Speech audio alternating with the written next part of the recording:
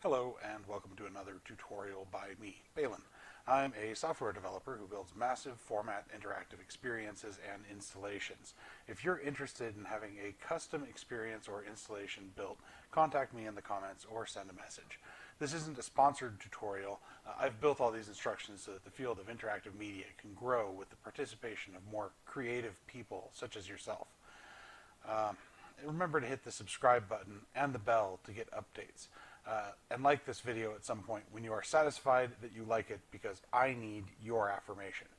So during this tutorial, you're going to learn to build a game for full dome display with point mechanics, an intro and an exit system, and an environment. Uh, we're going to use the native animation system to make some simple animations that change that environment through the course of the game. No prior knowledge of Unity or game design is required to follow this tutorial, but it would help if you at least do the built-in tutorial on how to use the IDE and the names of and know the names of the parts of it uh, if you're starting with absolutely no prior knowledge. Uh, I'll remember I'll remember to say the names of things throughout the tutorial. So uh, as long as you pay attention, you should be able to follow along even with minimal knowledge. It uses a what's called the LWRP or lightweight render pipeline full dome camera uh, for Unity that I've made publicly available on GitHub to produce a fisheye render for display on an appropriate system. It also lets players use their phones to participate in the game, so up to 24 players can compete at a time. This is done through an open source web server, which you'll set up on a secure free cloud provider service. Excuse me. I'll explain how to set that up on a free GitHub account and a free Heroku instance. Uh, now, I really love to code, and I build things in a variety of coding languages. I know that most of you don't feel that way, though. Um, I included uh, code that I wrote to make this and other game demos work in the dome at our local museum. You're free to use this code in your own projects. Uh, yeah, uh, go ahead and break it down and find stuff that you can do with it. Um, enjoy. The full dome industry needs as many open source tools available as possible create interactive, immersive experiences.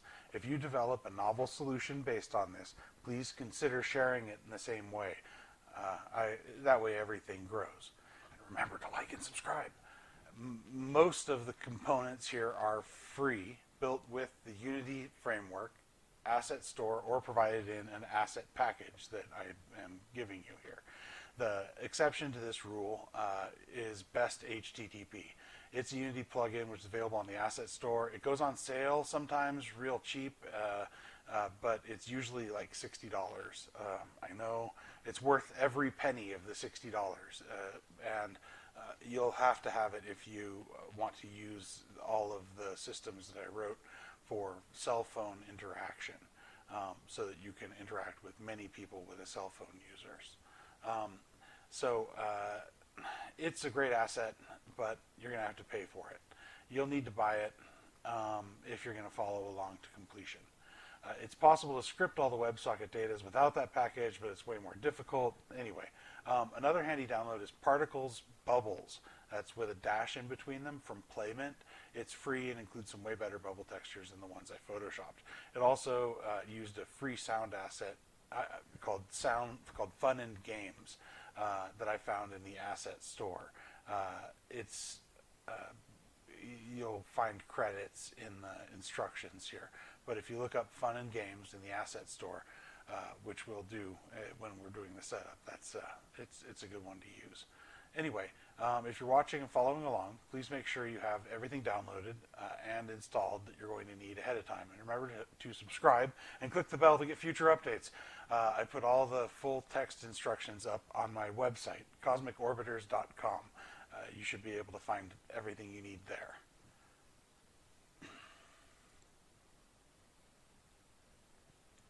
Okay, so in order to get started, uh, uh oh, let's uh, let's go ahead and zoom uh, out into our Unity framework. I, I am only a little floating head in that, so I'll see you there. And in Unity, um, now you're going to want to launch Unity um, or launch Unity Hub and start a new game. Uh, and in that new game, um, suggest uh, take the LWRP camera, uh, uh, lightweight render pipeline uh, option on the lower right hand side. Uh, I didn't capture that here, so you're going to have to figure that out. Um, so um, we're going to go into the asset store. Um, okay, to start our project, we're going to go into the asset store. And inside of the asset store, we're going to search for best HTTP. And I didn't want the filters, I just wanted the search.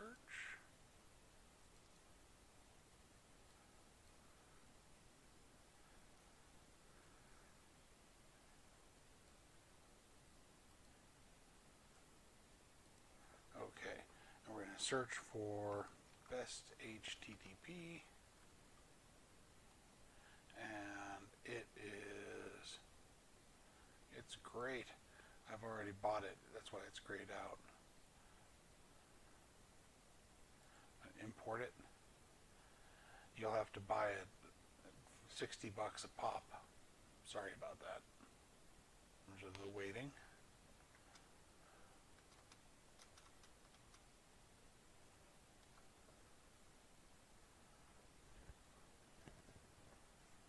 Okay, so socket exceptions, but those just happen all the time. Uh, I'm just keeping an eye on a console over here, which is underneath my face for all of you.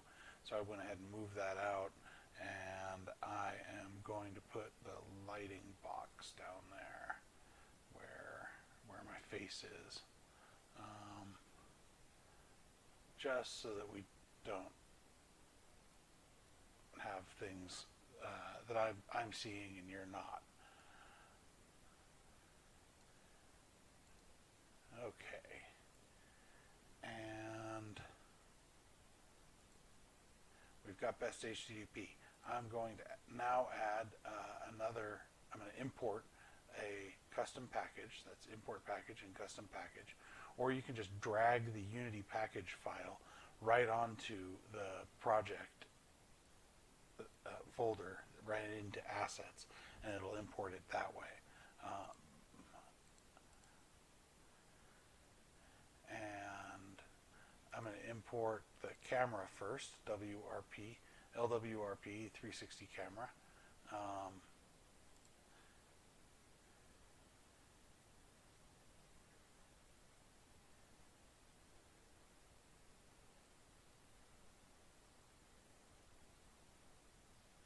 this is going to take a few moments because there are some lighting components uh, and we have, oh my gosh, auto generate I'm going to uncheck that while we're here.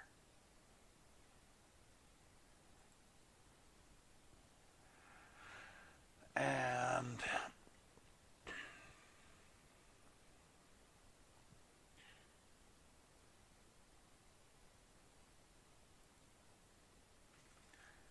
so now we have the camera and we have best HTTP. Now we're going to need that last package import package, custom package, bubble destroyer, Unity package.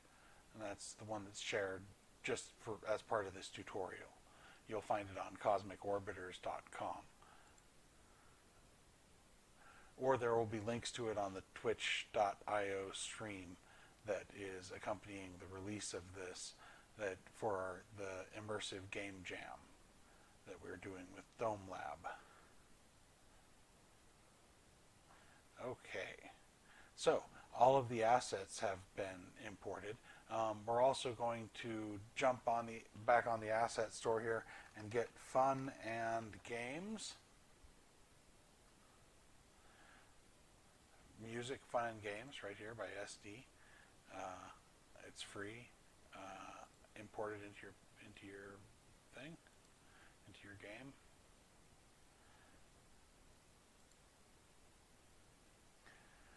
Okay, now with all of that stuff downloaded, it is time to set up the, the, the game. Um, so go into Edit, and project settings here and graphics. Uh, your project settings is probably going to pop up in another window. Uh, I've got it set up so that it comes in on this uh, sub window here, uh, which works for our situation. But I'm going to drag it over to this main window so it's nice and wide.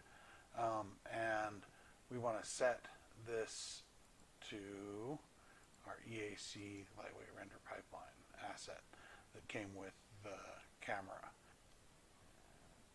Okay, after you got the scriptable render pipeline asset set, then go into player and in player set the color space to linear if it's gamma. Um, and you'll want to name your game uh,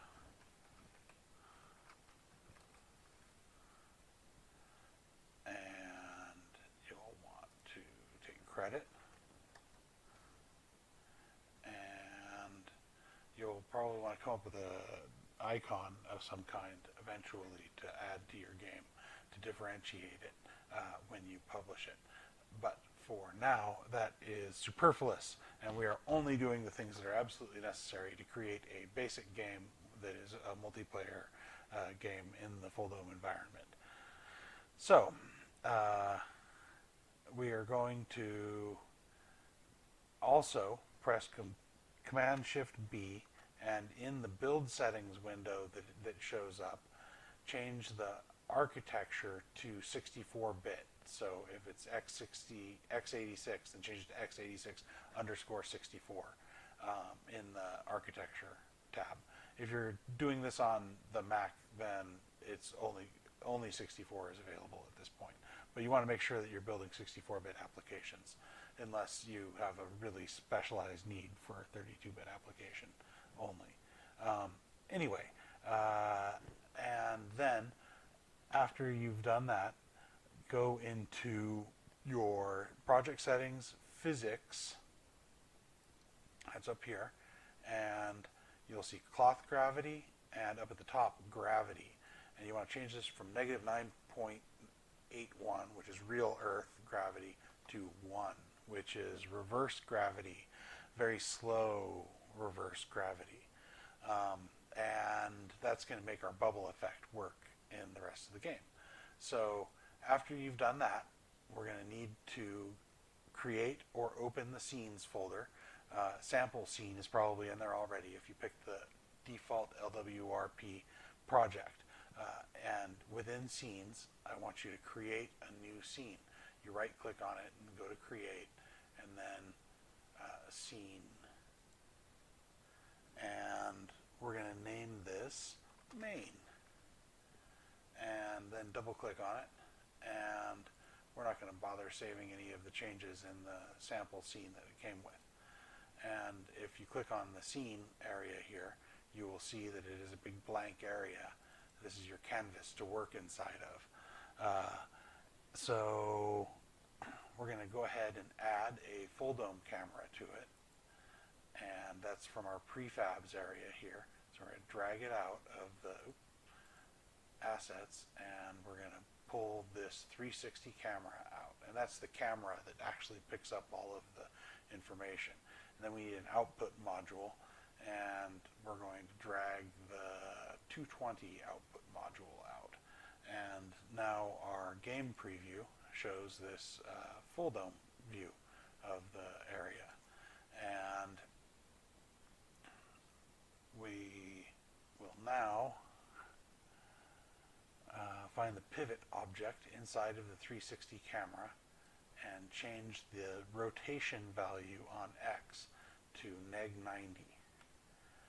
So this is the transform section of the system, and we're changing that to neg 90. And that changes our view a little bit. Um, that's the sky overhead, and there's the sun, and there's the, an endless plane all around us. Uh, since we're viewing at 220 degrees, this uh, this is a, a, more than fisheye uh, view, and it, they look great on the dome usually. Uh, so uh, if you want, you can also use the 180 camera. It's just that some of the locations will have to be changed you'll see if you're assembling it with that camera. And um, I'll try to remember to mention when it's appropriate to move things around. Anyway, uh, go ahead and get inside of the camera, select all of the cameras within that, and change the background type to solid color. And then change that solid color to black. Alright, and now we want to take the main camera and delete it. And we're going to go ahead and create a new display layer at 30 uh, by selecting the, the camera here, oh, the output here, and it has blank right now. So we're going to click on that and hit add layer and then go down to user layer 30 and name that display. You can even capitalize it if you want. Uh, it doesn't matter, uppercase or lowercase. And then go back in and select the camera again and, or excuse me, the, the output module again. And it should be set for layered display. And you don't even have to change anything. It just uh, is a way to make sure that you know that that is part of the the, the, the set of values inside of the, that camera. And then we're going to want to create a reflection probe in the scene. So go down, go into the hierarchy here, right click, and say in light, we want reflection probe. And set this, instead of baked, we want it to be real time and instead of on awake, we want every frame, all frames at once. Woo! It takes up a pretty tremendous amount of memory, but um, hopefully we've got memory to spare in the machine that's going to be running this, because it is, after all, in a theater. So it should at least have a high-end video card in it, which can handle a reflection reflection probe or seven. Um, and then um, that box size. Uh, I changed it to 500, 500, 500. Remember to do that. Uh, change this clear flag over to solid color and make that solid color black, just like those cameras that we were that we did earlier. And then let's go ahead and select this camera, this output camera, and instead of doing a full 220 degrees, we're going to do 210 degrees, uh, maybe 205. Um, uh, by changing this to 110 degree field of view. And uh, if you look in the in the game, there's no sky anymore, so there's not really a way to, to, to see what the effect of that was. Sorry about that. And then um, inside of this is a sphere mesh collection. I want you to uncheck size to ortho. Uh, that will keep it from going full screen to the to either side, which is uh, uh, preferable in many situations, but not in uh, our own dome. Um, so here, so that's done. Now, the floor and the roof have a stylized caustics effect that we'll build in Shader Graph. And it's just to get familiarity with the tool um, since we're using WRP, uh, shader graph is already going to be part of the project. So in the hierarchy, that's, that's up here at the top, create a new plane, and that's 3D object, plane, and name that plane floor. And resize it to 100 in each direction. And then position it at y negative 30 and the rest at 0. Okay. And let's go ahead and create another new plane.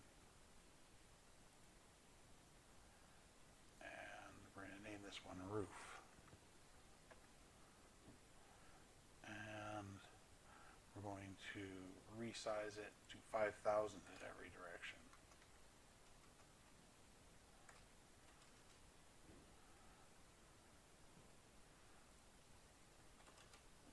Move it to Y of 100 height. And, and then um, rotate X by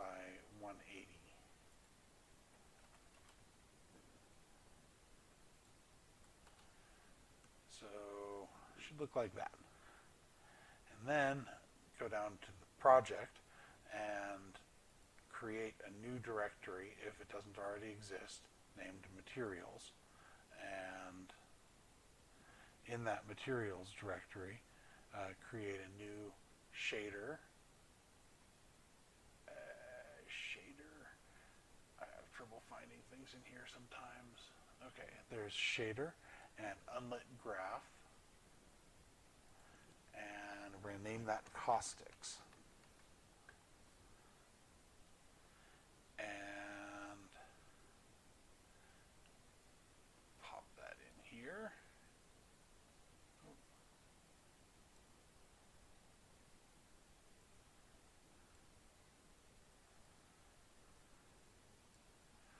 Okay, here we have the caustics window.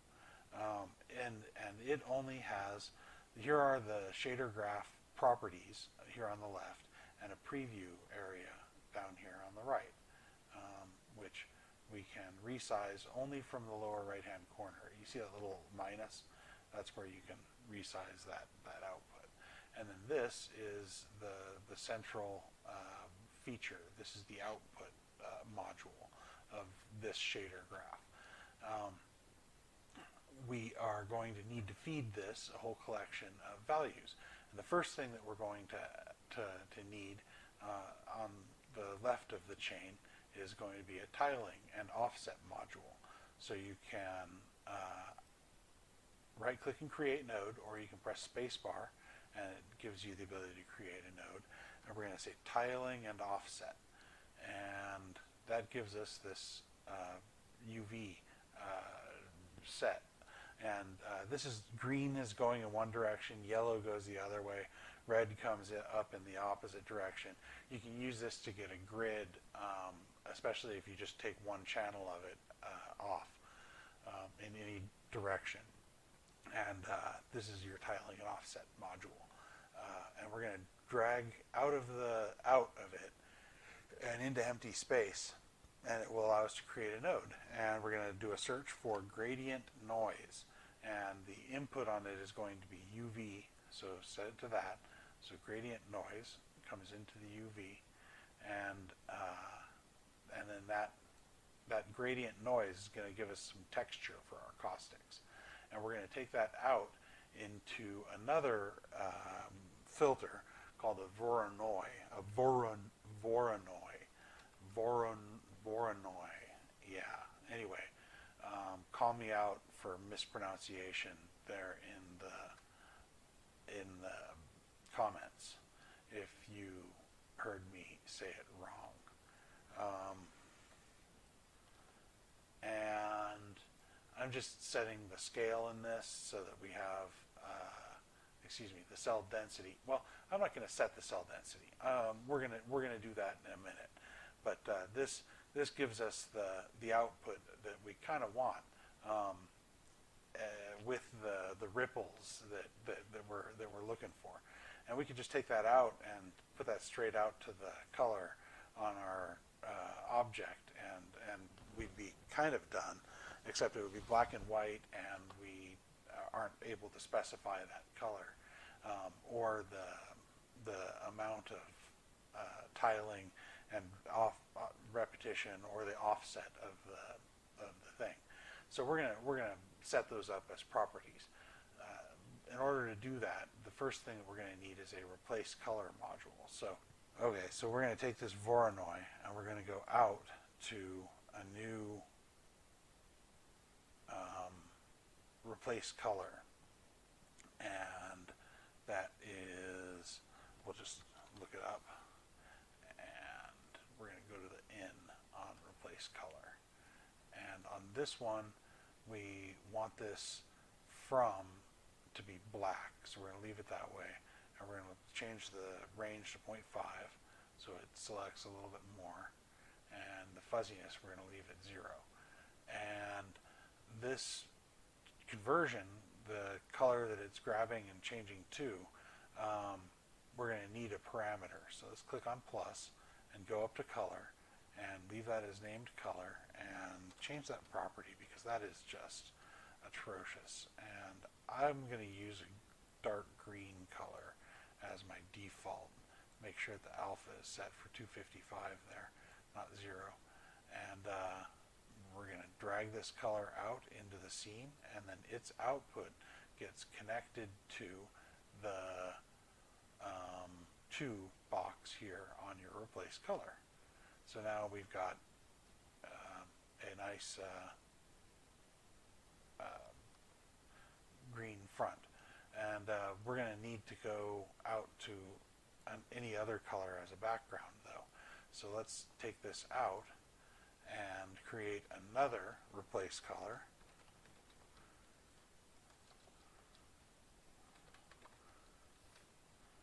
And this is going to the in once again. And this one is the white because we're going to need to replace the white in the scene. So now we've replaced the black in the scene with the color that we want things to be. And now we have the leftover white areas. And um, let's uh, set up another color input and we're going to call that background. And that is going to come out here and the conversion there should go to that. And the range goes from 0 to 1.2 and let's set the fuzziness to 1 there that catches all of the the, the white areas. Um, and and replaces it with the background color whatever we set that to be um, so there's uh, lots of opportunities to mess with that at that point. Um, I'm going to leave it black. Oh. I said I'm going to leave it black. Okay, and so now we have the foreground and the background and the replace color. So we're going to minimize all of that. And we're going to take the output on this color replacement into color there. And now we have a working shader. Now I would like to be able to specify the tiling and the offset externally. So uh, these tilings are XY values, so those are vector 2's. So let's add a vector 2 and call this tiling. And, and then we'll drag tiling out. And it's going to default to 1 and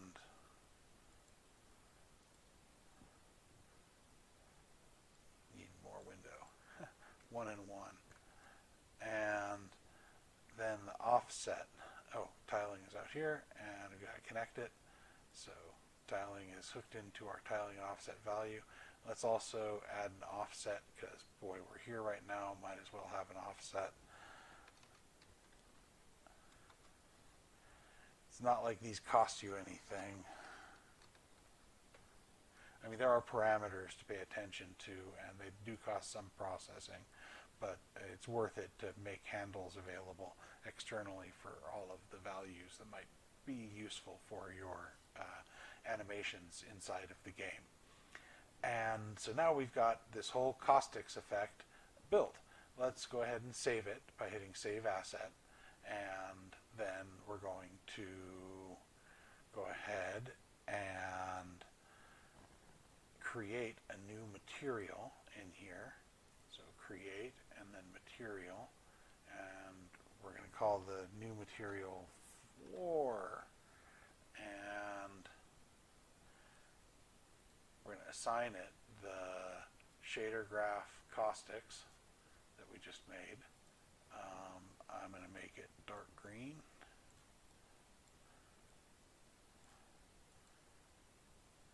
Dark green and black. Um,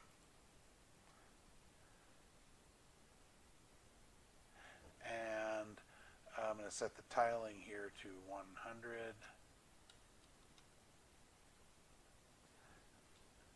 The, uh, really only And Y is going to matter there. Um, and let's go ahead and click on scene. And here is floor. And we're going to drag floor material out onto floor. Hey, how's that look? And there's our floor around us here. And yeah, we're going to leave that at 10 um, for the tiling. So that's the material caustics floor. And then we're going to go ahead and make a duplicate by selecting floor and pressing Control D or Command D, whichever you, you have, and then rename this one roof. And its tiling is going to be 1000.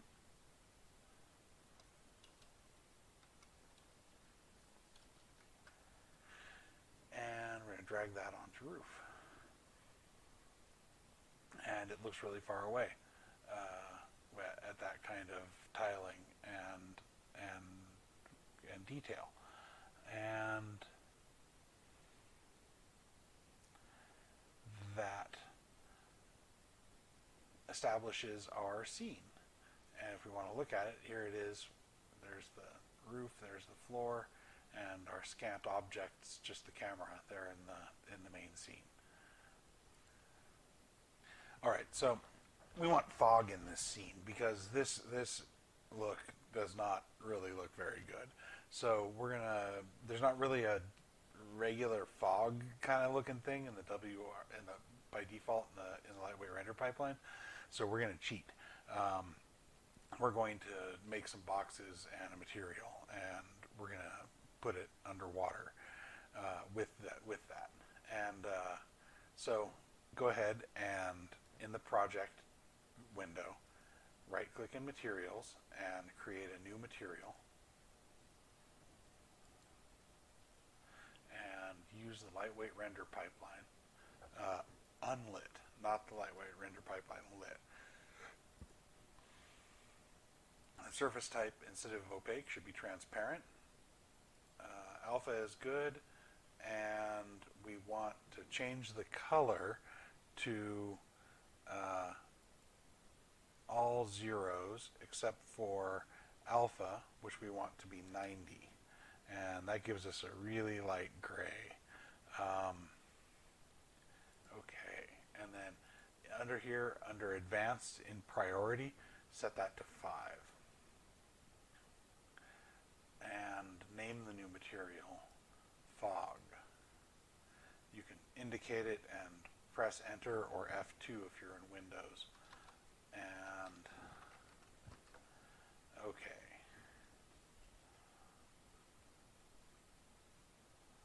And now we're going to go into the hierarchy and create a new 3D object. Uh, excuse me, a new empty object. And we're going to reset its transform. And we're going to name this fog container. And fog container, we're going to create a new cylinder. And in that, this cylinder is going to contain our fog. Um, oh, oh, I, I almost forgot to mention. Instead of rendering on the front, we want to render on the back face um, of the of the fog material. Uh, so render face should be set to back on fog. Um, anyway, go back into the fog container and click on the cylinder that you, so the cylinder that you just created, and remove the collider from it, and change the scale on it uh, to 100 and 500 tall and 100 deep. And then um, we want to drag the material. Oh, and we're going to call this fog layer. And I want you to drag the fog material onto fog layer. And if you zoom out a little, you'll find it here inside of your, your your area. So um, you can now take this fog layer and duplicate it five times. So Control D, one, two, three, four, five, and then select fog layer one and set it for 200.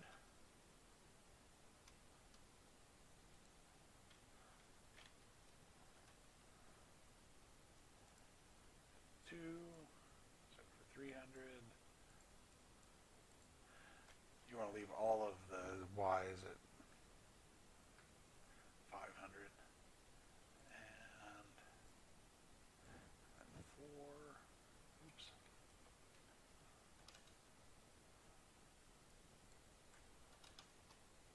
And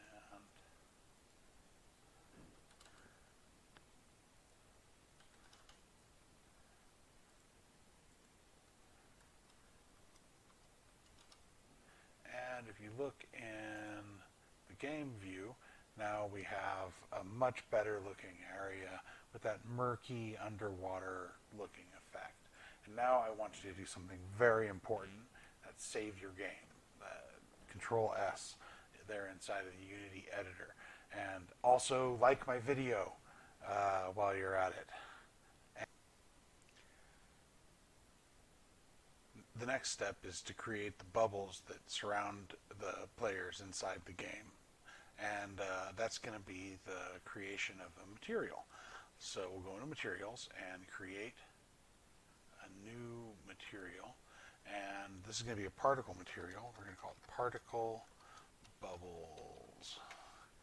And and then we're going to go into lightweight render pipeline and leave it as particles and unlit and then make this transparent and change this base map uh, to the texture bubble particle that we that, that I included in the uh, kit. And uh, and you might as well just leave this gray color. Um, and go ahead and get into the hierarchy. And right click in there and hit create empty and reset. Oh sorry not create empty. Um, go ahead and create a new wind zone and it's under 3D object wind zone and uh, that's in your hierarchy. Um, and leave it in directional. Drop the main down to 0.5 and leave the rest of the settings default and then duplicate that wind zone and then change the mode on that from directional to spherical change the radius to let's say 5 and change the main to 2 on, on the spherical one. And then we're going to create a new particle system called bubble ring. So that's going to be an effects particle system and then reset and change the Y to negative 5 on the position and then rotation so it should go to neg 90 and then assign the bubble the particle bubble material to the renderer uh, I'm not sure if, yeah you can just drag it right onto the hierarchy item or you can open up the renderer in here and put it on material. It looks like it assigns it to both trail and material if you drag it onto it in the uh, particle system. So that's kind of a handy thing, huh? Um, after you got that, uh, go to the top, change the duration from 5 to 10, and change the lifetime to random between two constants, and it should be between 5 and 20 and then change the speed to also random between constants and should make it 0.3 uh, to um, let's see what, what one okay and then start size should go way down to two randoms between constants, and we want it to be between 0.1 and 0.5. And then let's set up a gravity modifier on these of 0.1. It's going to make them rise in the world. And then simulation space, change it to world. Uh, that's so that they interact with world things like our wind zones that we set up earlier. Um, they're called wind zones, but those are actually going to be our currents, our water currents. Um, and then uh, we're going to make sure play on awake is checked. And then max particles should still be a thousand. And then change the shape from cone uh, distribution over to circle and set the radius on that circle to 10. And then we want to change the radius thickness to 0.1. And that way it just comes out of the edges around the outside of our, of our bubble. Um, and here's what that looks like in the scene view. Um, you can be working from either right now. Uh, but uh, so let's increase the overall. Oh, we also want to uh, change the external forces toggle. Check that. And, uh, and see how that looks in the game. Oh, hey, they're all blowing over. Isn't that cool? Um, and then we also want to uh, create a new color over lifetime.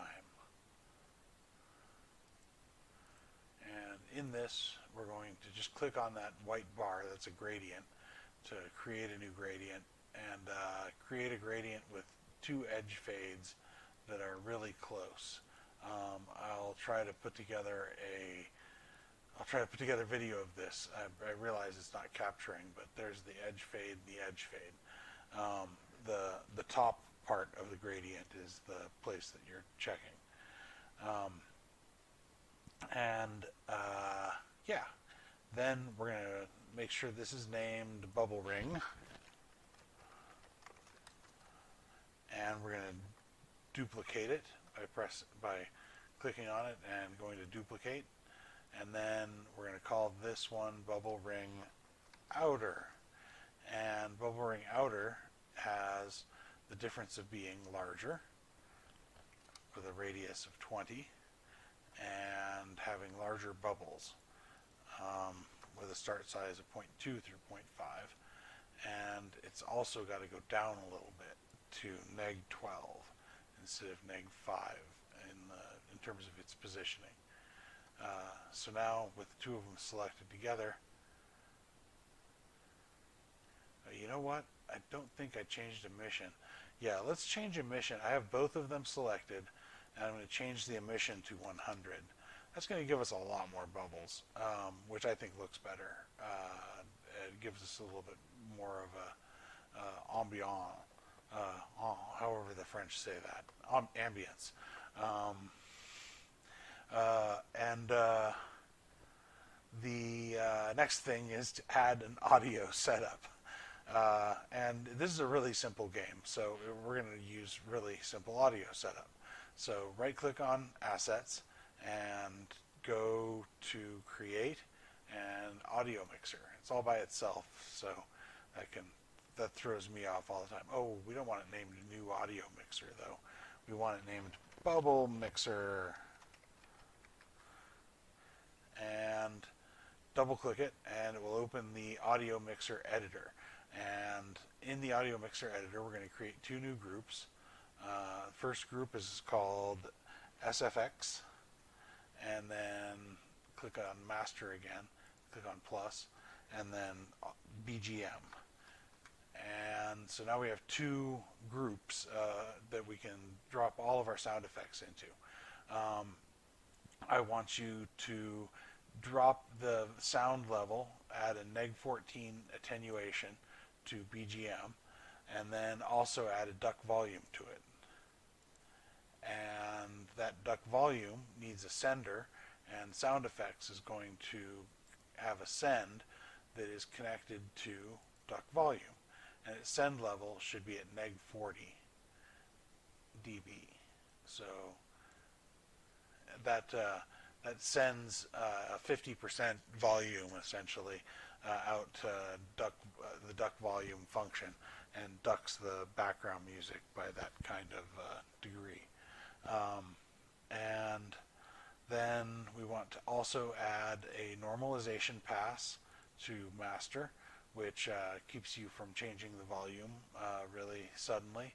Uh, and then um, we're going to also add a uh, sound effects reverb and wet the sound a little by making it neg 300 uh, dry level. And and this is when you can also set the exotic sound system that you're connected to in your project settings. Um, your project settings include an audio area um, and the default speaker mode has all of these options of surround, uh, quad, mono, whatever your uh, immersive scenario has available to it. You can uh, configure that here. And, and the next thing that we're going to do is to build a prefab uh, for the player. And we're going to do that um, in the first at the project view here. Uh, we're going to create a new material, which seems to be the thing that we begin everything with. So click on materials and right click and go to create and we're going to call a create a new material called ping rings. And we're going to set the shader. Uh, it's currently set to lit.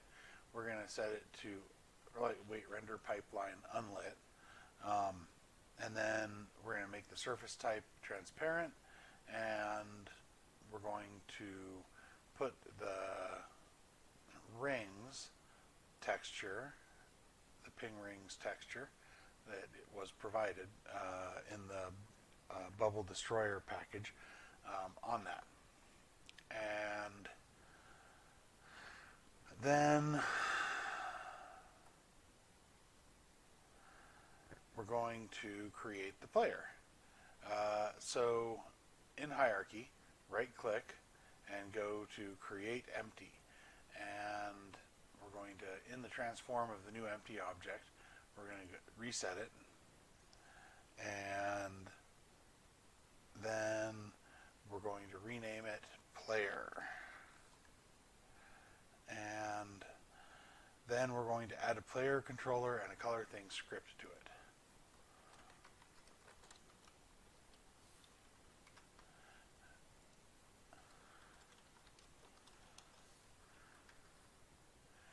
And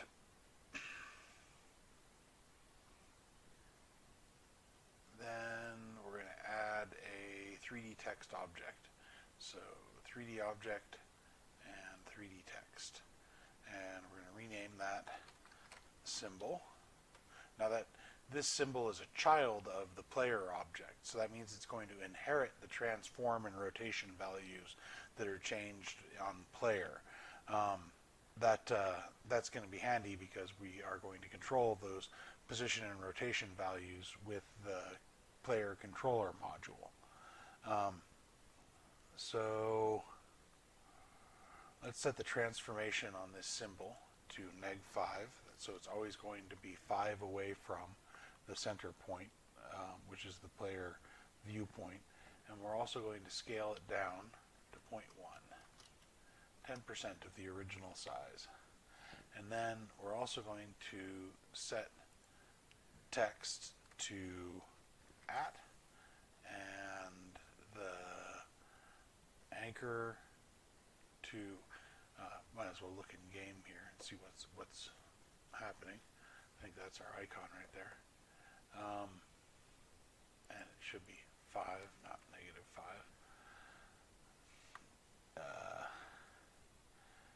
and center alignment.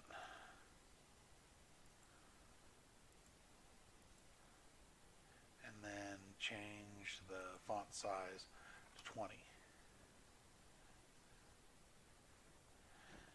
and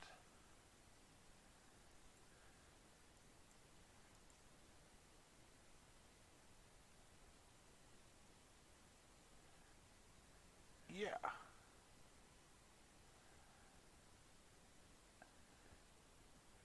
Then we're going to take this symbol object and we're going to click on player and we're going to drag the symbol object onto the symbol container. Um, variable here of player controller. We're also going to drag it into the objects to color array and it will get added to that array in color things. So color things can color a wide variety of things. And we're going to change this to base color as the attribute that it's going to set. Um, and then we're going to right click on player, uh, create empty, rename it hinge, and then add a component to it, search for hinge, and add a hinge joint. Um, in the rigid body, check all of the constraints. We don't want it going anywhere on accident. Um, and then click on player and drag the hinge onto the hinge object, uh, the hinge property of the player controller of the player. Um, all these terms are super important for lots of people that are trying to communicate ideas to one another. So I need to remember to reinforce that in the uh, in my own presentation. Um, so uh, next part is to add the ping marker that we prepared for earlier. So the ping marker helps people find their way. Um, we're going to add a 3D object to player by right-clicking on 3D object, uh, right-clicking on player, then going to in the hierarchy, and then going to 3D object, and then going to quad. Um, and we're going to immediately remove the collider component uh, from this quad and name it ping rings. Uh, ping marker, actually. ping marker. And then we're going to drag the ping rings material that we made earlier onto the ping marker. Um, and uh, then we're going to set the ping marker to a Z of 5, and that makes it show up for us here in, in space. Um, and then we're going to set the scale on it to 0 across the board. And we're going to add an activation timer component to ping marker. Um, leave it set for a duration of 1 and then also add an audio source to it. Audio source. And the audio source wants an audio clip uh, added, and there are some sounds that are here. One of them is this sonar noise. Go ahead and drag it into the audio clip. Um, and then also uh, set the output to this, oops, there's ping marker, set the output of the audio source to the SFX channel on our mixer. And then set the spatial blend from 2D over here all the way over to 3D and set the max distance to 20 on the, on the sound. Um, and we're going to add a pitch ranger. And then this pitch ranger needs to have the audio source marked. So we're going to drag the ping marker uh, from here onto the audio source here and leave the pitch range uh, where it's at. Um, make sure that play on awake is checked on your audio source and not loop. Um, okay, and then we also want to put this on the objects to color, drag ping marker onto objects to color, and um, we're going to uncheck it to make it inactive.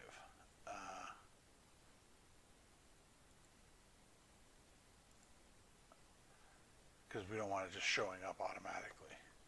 And we're going to create a new animation for it. So I want you to save your game. That's Control S. And uh, then, or Command S, depending on if what platform you're on. Um, so in player, uh, I want you to click on ping marker. And then I want you to find the animation tab. In mine, it's down here at the bottom. If you don't have an animation tab available, you can click on window and then go to animation and animation or press command or control 6 um, to get an animation tab.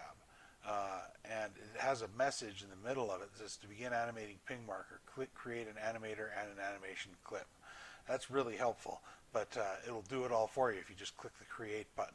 So click the create button and then you're going to have the option of, of selecting what folder you want it to be in. It's going to show you your assets folder. Um, I usually create a new folder called animations. Um, and uh, use that as the place that I store the animations. Um, so create a new folder named animations in your file browser um, and then name the animation ping marker. And it'll automatically attach that animation with an animator uh, and a controller um, that it saves inside of that animations folder so that it names automatically according to whatever it is that you've uh, added it to. Um, so with that controller, you can, with that ping marker selected, press the record button in the animation bar and then ensure that the time is set to zero. That's the frame, the time frame. And uh, with the time frame set to zero, go to the top uh, scroll of ping marker here and change any value on the scale to, to, to anything and then back to zero again. That will record that it is zero right now. And then advance 10 frames. So hit type 10 and press enter. That'll take you right up to 10 frames. Um, and then change the scale to 1 and then we want to advance another 10 frames to 20 and change the scale to 2 and then another 10 frames uh, to 30 and we're going to set the frame back the scale back to 1 again and then another 10 frames up or excuse me another 20 frames up to 50 and we're going to go back up to 2 just give it kind of a bouncy effect in terms of the, the overall resizing. And then at 60 frames, we're going to set it to zero, the original state that it came in at. And then we're going to click on record again, and that ends the recording session for the animation. Hooray! We just made an animation. Um, so now in assets, you'll need to make a folder called prefabs. So click on assets, right click, create, go to folder, and name that prefabs. And it's fabulous. Prefabs, get it? Um, yeah, no, it's not funny. Uh, drag player into prefabs, and now we have the player prefab. And also, while you're at it, go into the animations, click on the ping marker animation here, and uncheck loop time. So that's just in case if you if your timer uh, doesn't match with the uh, the removal of the object, which shouldn't ever happen, but you know um, it's a good policy to to set unlooping at non-looping animations not to loop. Um, and uh, yeah, we have player set as a prefab, so we can now delete the player that we built in the scene. So I'm just going to delete that player. And uh, remember to save your game.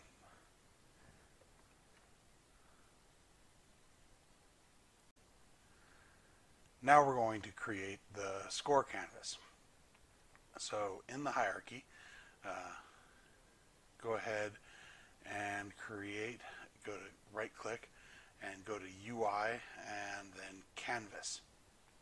In the Canvas, uh, change it from screen space overlay to world space and then reset the rect transform.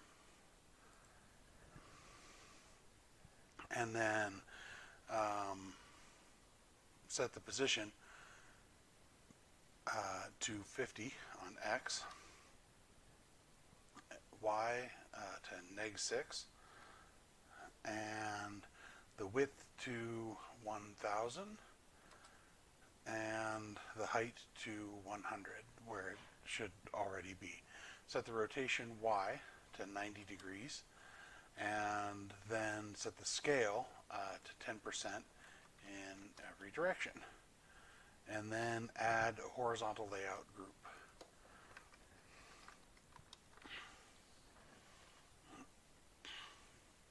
All right. Uh, change the upper left value here um, to middle left. And this canvas should be named score canvas. Um, the event system will automatically get added as soon as you add uh, these kinds of uh, objects to the scene. Um, don't worry about it. it. We're not using it really in this game. Um, well, you could use it if you wanted to add uh, traditional uh, mouse input, but we're using cell phone input uh, for this. So um, go ahead and save your game. And we're going to now make the play player panel prefab. Now the player panel is a panel that sits inside of the score canvas and shows that the player is logged in and what their score is. So everybody's got a symbol, a color, and a score. So you want to have each of those elements shown in the score canvas for every player. Uh, so uh, in order to accomplish that, we're going to use an object called the player panel. In the project view, we're going to create a new material. Uh, the same step that we start do every day, Pinky. Um, and that material is going to be called UI text. And then let's set it from uh, the lit to uh, UI unlit transparent. So UI unlit transparent.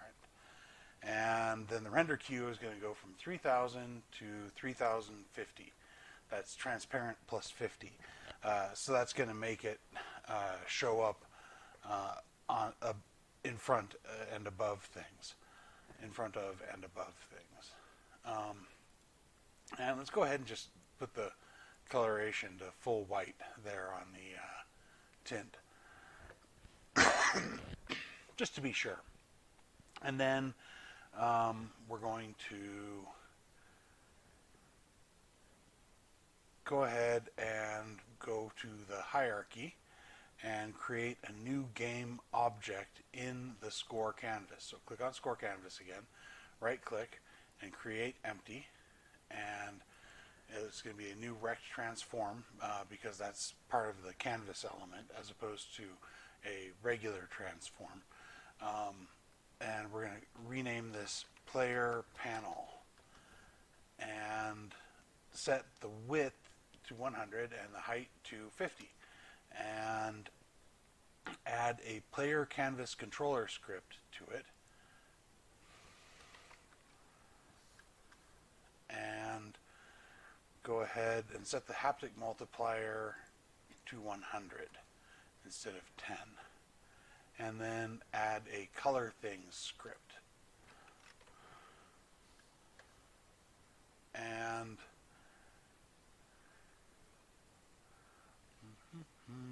add a UI text object. Um, that UI text object is going to get renamed to symbol. And that, and then we hold Control Alt and Shift and click on the symbol, uh, the, the location, and click on the lower right hand corner. And then set left to 50 and right to 0 and change the text to at. Uh, which is our default symbol. Uh, this is just going to represent our symbol in the scene. Um, and then go ahead and set the best fit center vertically and horizontally. Let's change the color over to white so we can see it in the scene. And there it is right there inside of the game view. Um, and let's set the material to that UI text that we made earlier. And uh, that's going to make it really pop. Um, and then we're going to add an outline component, which will also help. Uh, and outline here, let's go full black, full alpha, 255 value uh, when you click on the effect color there. Um, and that adds a really nice outline effect to any text that you have in the scene.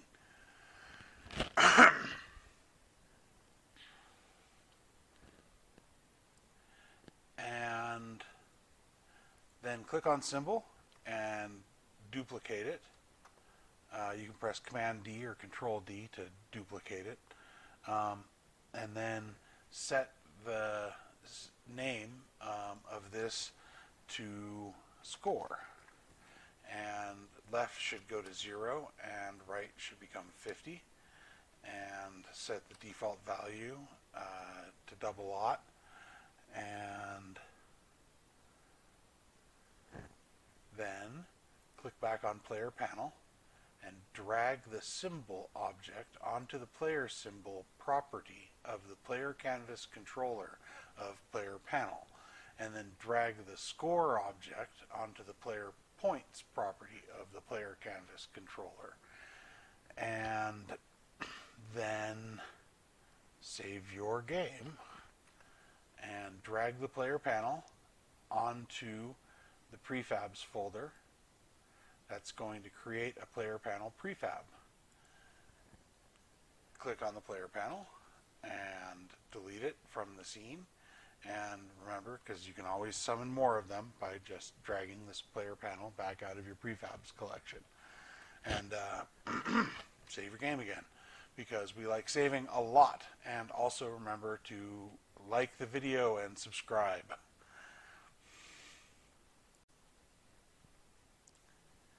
Alright, next step is to build the bubble target prefabs. Um, these bubble targets uh, are uh, the game uses four different colors of bubble, each worth different point scores. Uh, we're going to build one of them, then make duplicates of it, and tweak the settings on the duplicate to make each target unique. We're also going to use a new feature called Shader Graph to build the bubble texture and learn a bit more about building reflective objects like the bubbles. Um, and it's going to be a lot of fun. Um, so let's, uh, in the project, um, view, uh, go ahead and get into the materials and create a new PBR graph, which is going to be in create and shader, which is near the top. And then in there is PBR graph.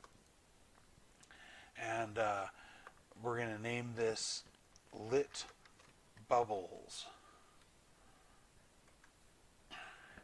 And we're going to go ahead and double click lit bubbles and that's going to open up the shader graph view of uh, the of the object lit bubbles.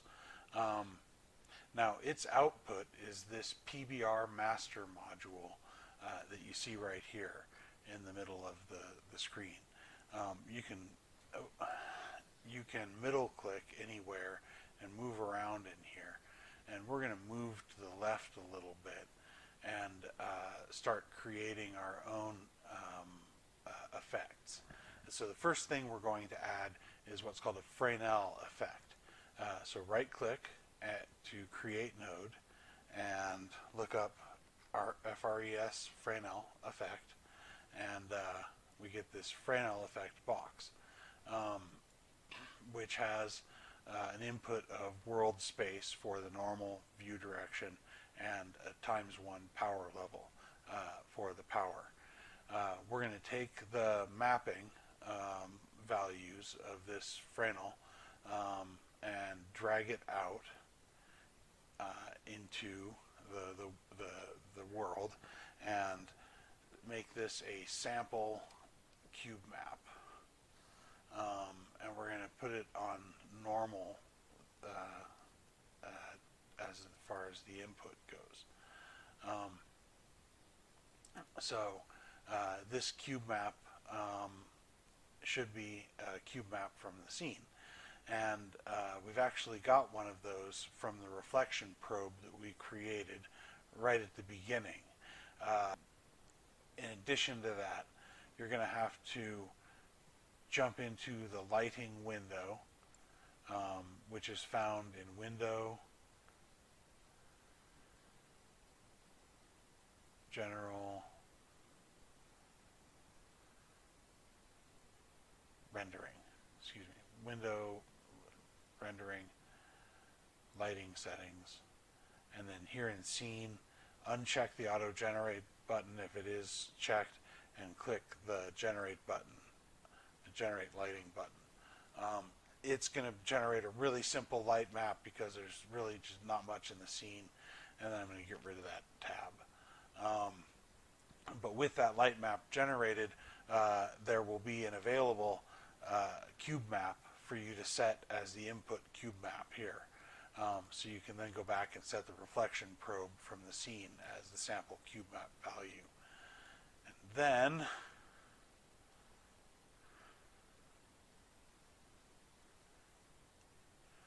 we're going to take this output and drag it to the emission value of our PBR master.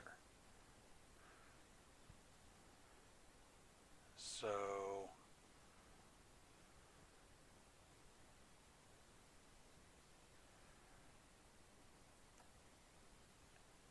and now um, the preview doesn't st- still doesn't like really uh, look right. Um, so we're going to set some some values uh, uh, on it overall.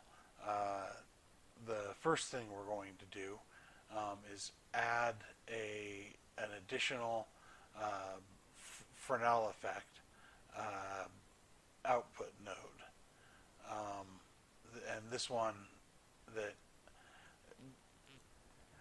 this one's just by itself. And we're going to set the power on this Fresnel to 3 and then drag its output node onto the metallic and the occlusion uh, nodes of the of the output that's going to give us a reflection only on a specific color. Um,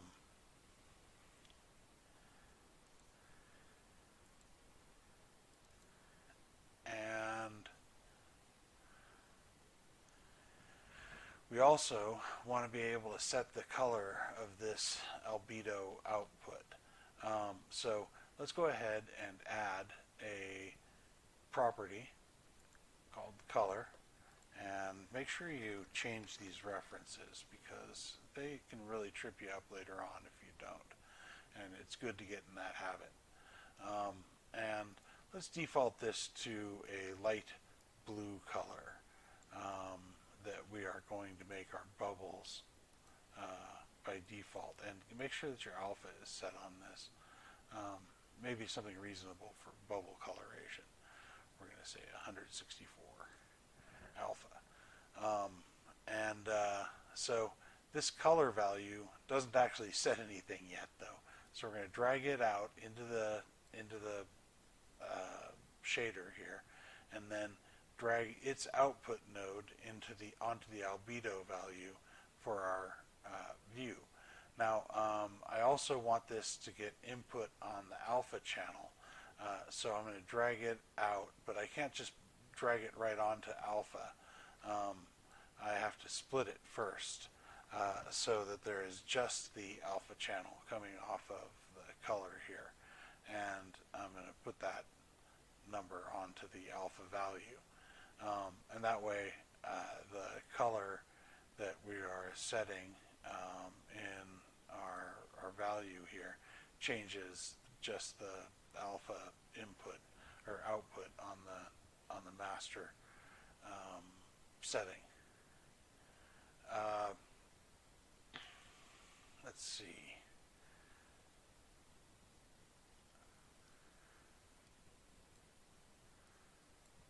So um, let's also set it up so that that reflection probe can be set externally. So let's click on plus up here and get cube map. That's what reflection probes are. And uh,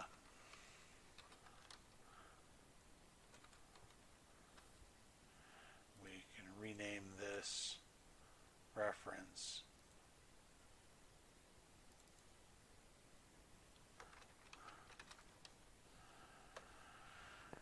And let's go ahead and drag reflection probe out and put it out onto cube here.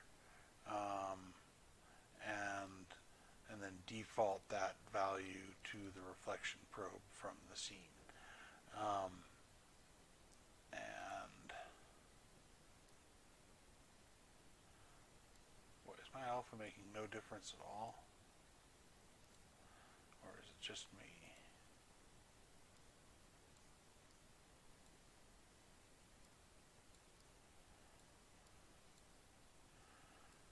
Um, well, we'll have to see. Uh, anyhow, um,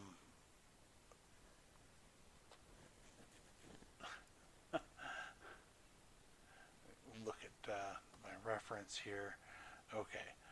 Uh, we want to set the reflection power. We want to make this available as a as a setting uh, because it really kind of can change the um, way that the the bubble looks.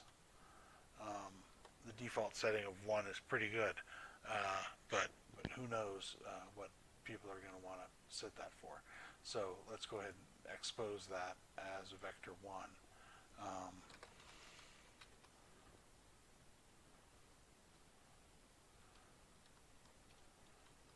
and we're, we're going to call it reflection power. And um,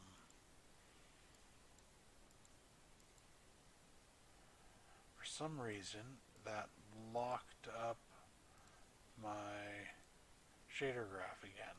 So I'm going to close the tab and save and then double click the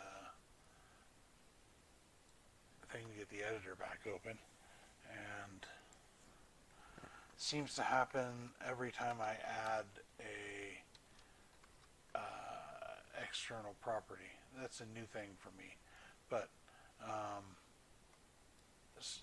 whatever. We we've gotten around it. Um, let's drag reflection power onto the power value there, um, and then set this default to one so that it has a, a setting. And now we've got some um, really uh, reflective, lit up. Uh, let's let's also uh, change some values here uh, of the of the output um, on the the smoothness setting um, of the PBR master. If we change that to 0.9, it'll make it oh a lot shinier. And then let's also set the alpha clipping on uh, this from 0.5 to 0.1. Um, oh, 0.1. Oh.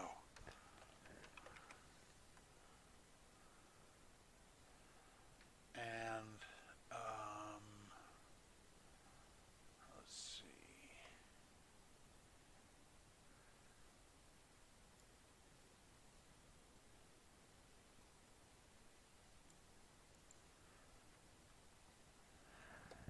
Hmm.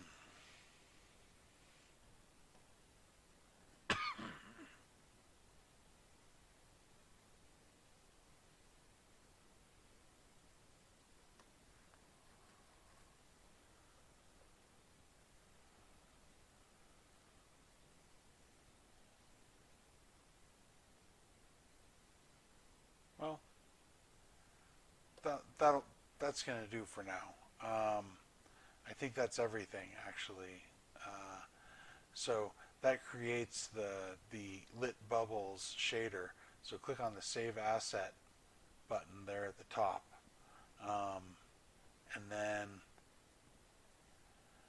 go ahead and create a new material based on the lit bubble shader named Blue Bubble. Um, so materials, create material, and we're going to call it Blue Bubble. Um, and we're going to go ahead and make sure that we're using this new shader that we just built. Um, a couple of ways of doing that. Um, but we're going to click on this arrow right here and go to shader graphs and then lit bubbles and then set the color to a nice light blue um,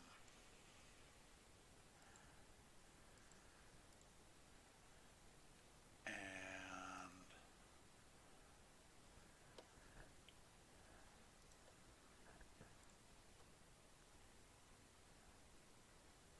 all this is good stuff. Um, and then once we've got our blue bubble uh, set, we're going to duplicate it three times. And we're going to rename um, one of those and call it green.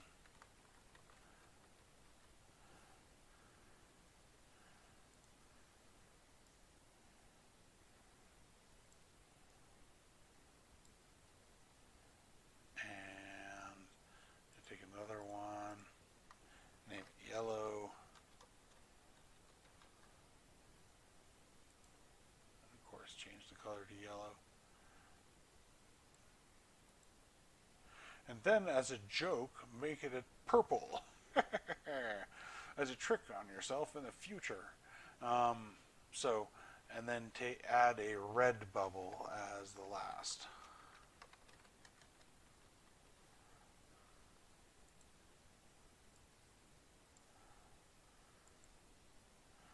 Okay, so we've got our material set up and let's go into the hierarchy and create a new game object. So create empty and then reset. And we're going to name it target bubble blue. And then we're going to go ahead and change the scale on target bubble blue to uh, 1.2, 1.2, 1.2. And uh, this is the largest bubble in the lot, so it's going to be large, bulky, and move slowly. It's worth the least number of points. Um, but uh, hey, that's uh, that's just the way things work out for, for blue bubbles in this game. So we're going to add a selection controller component and that's add component, selection, and this selection controller is one of the scripts that I wrote. This lets you select things, and this is the object that's being selected. Um, we're going to go ahead and add a rigid body to the to the thing, uh, and then set its mass to 0.1. Uh, this is going to make it uh, float, um, but 0.01, not just 0.1, 0.01, but its acceleration into that float is going to be really um, affected by drag because it has minimal weight to counteract that. So um, our drag value of 0.5 is going to be pretty significant for that bubble. Um, and we're going to um, add an activation timer component. and that activation timer should have a duration of 30. That's going to give each bubble 30 seconds to be active. Um, and then we're going to add a sphere collider to, to the, and with a radius of 0.5, that means it's always going to be consistently on scale at 1.2 in every direction uh, for the because the radius is half. Um, and then we're going to add a player points module to this, a player points component.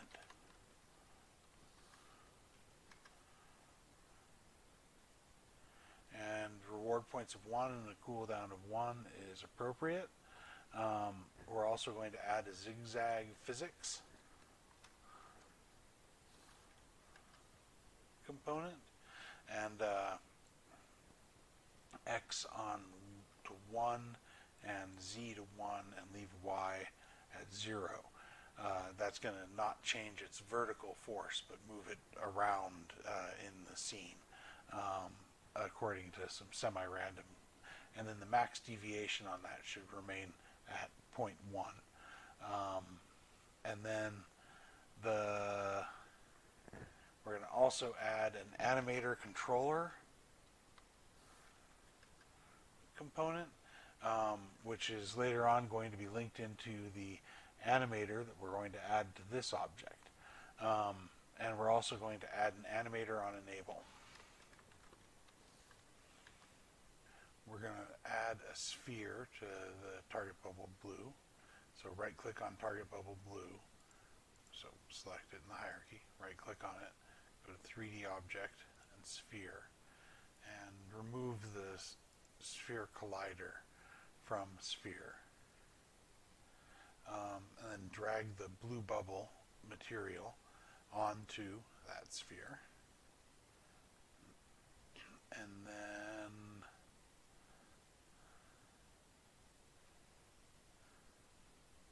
yeah. And then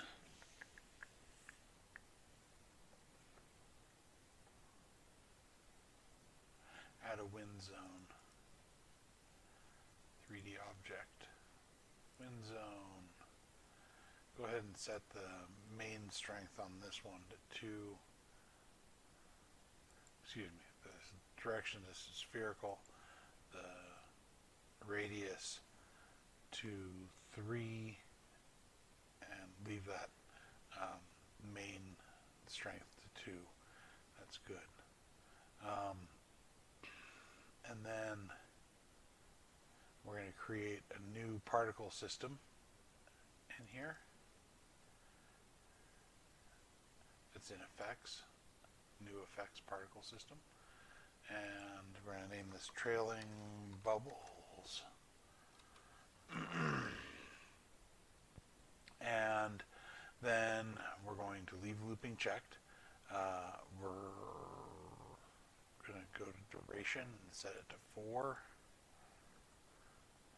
And lifetime should be left at 5. And let's see, start speed. Go ahead and change it to random between two constants. The low end is 0.375 and high end is 0.75. And then the start size, again, let's make this random between two constants, and then make that 0.01 through 0.1. And then the gravity modifier will set to 0.1. And then make the simulation space for that world. These are just bubbles that are going to accompany our bubble uh, in its journey uh, upwards. And uh, then let's make sure that play on awake is checked. Um, and emission.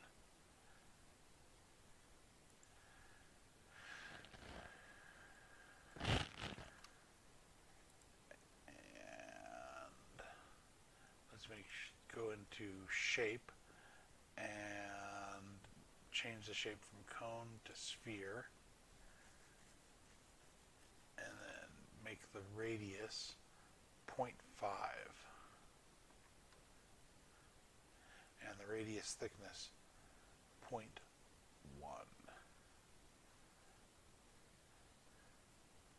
And then, or actually 0.01.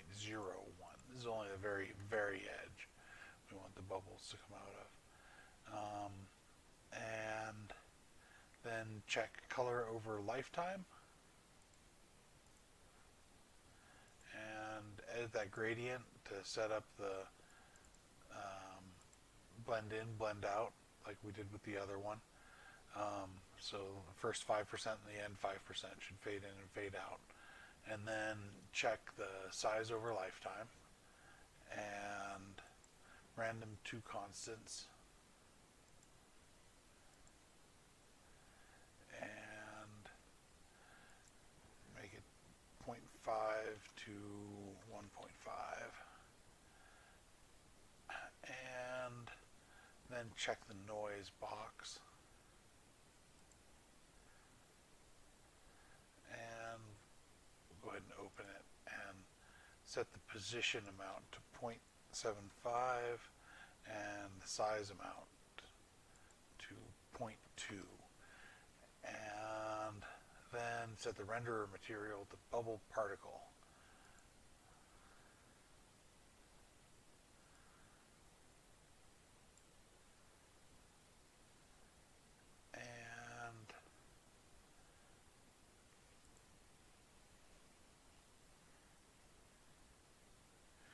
superb. So click on it and duplicate it. If you like it make a bunch of them. And also remember to subscribe and click like down below. And uh, to rename the duplicate target bubbles hover.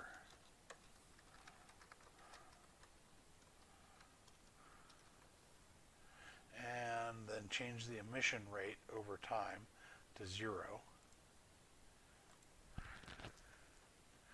Um, and change plus to get hit a plus in here to get bursts and leave that first burst at 30 um, and uncheck the looping uh, modifier up here at the top. Okay. Save. And then duplicate. Target bubbles hover. And rename the duplicate target bubbles pop and set the start color on target bubbles pop to light blue.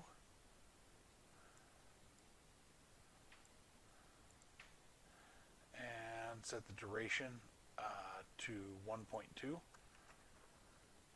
and set the start lifetime to 0.2 to 1.2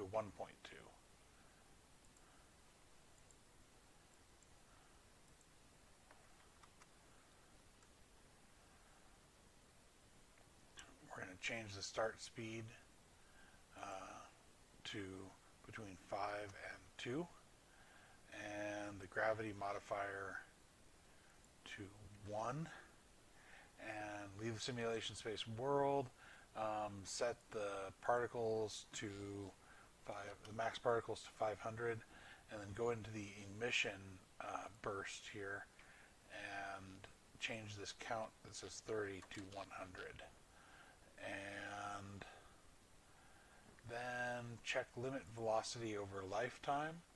Uh, set its speed to a down curve.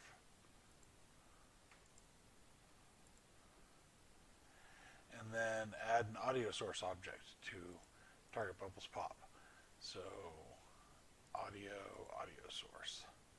And in the audio source uh, change the audio clip over to our bubble noise um, that is in sounds. And change the output to the sound effects output on mixer and change its spatial blend from 2D over to full 3D and set the max distance to 100.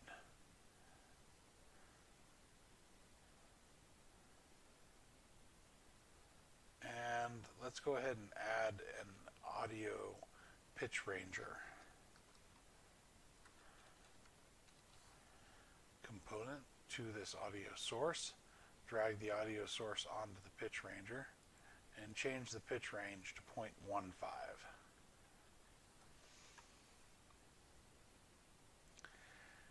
And make sure that this sound effect audio source here is set to play on awake and not to loop. Um, and that's great. So then click on Target Bubbles Pop and deactivate it, and then click on Target Bubbles Hover and also deactivate it.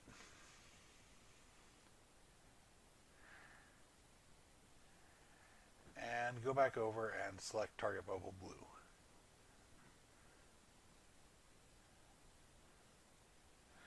Go back down to the animation window, which if it isn't available in your interface, you can find it at Window, Render, uh, General, no, no, Window Animation, Animation.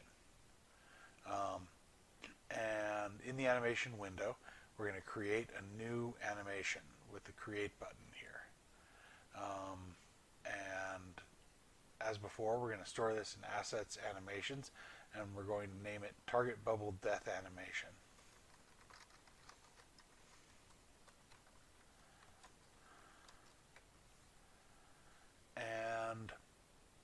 With the frame counter set to zero, press the record button and then find the collider and deactivate it and then find the sphere object and deactivate it and then deactivate emission on trailing bubbles.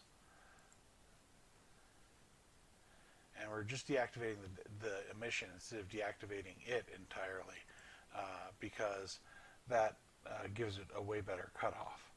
Um, and then press the record button to stop recording and then select all the animation frames and press Control C to copy them and then change the counter to 120 uh, press enter and then click in the animation window area here again and press Control V and it'll paste your new values at the end at 120 here. Um, and then click on the target bubble death animation name here and change it to create new clip. And then uh, name this new clip target bubble idle animation.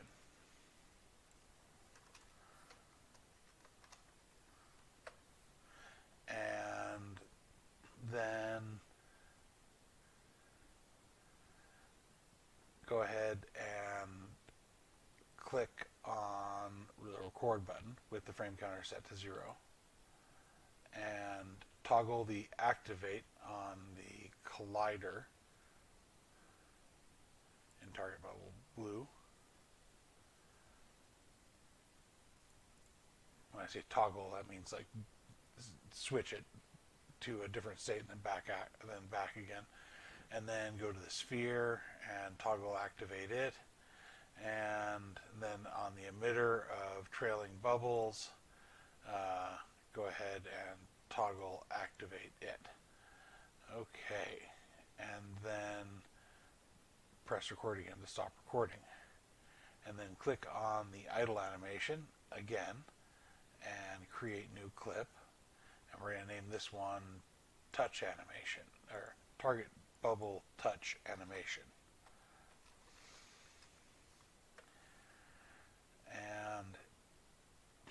With the frame counter set to zero, press the record button and then deactivate the the sphere collider and then deactivate the sphere and then activate target bubbles pop and press record again to stop recording.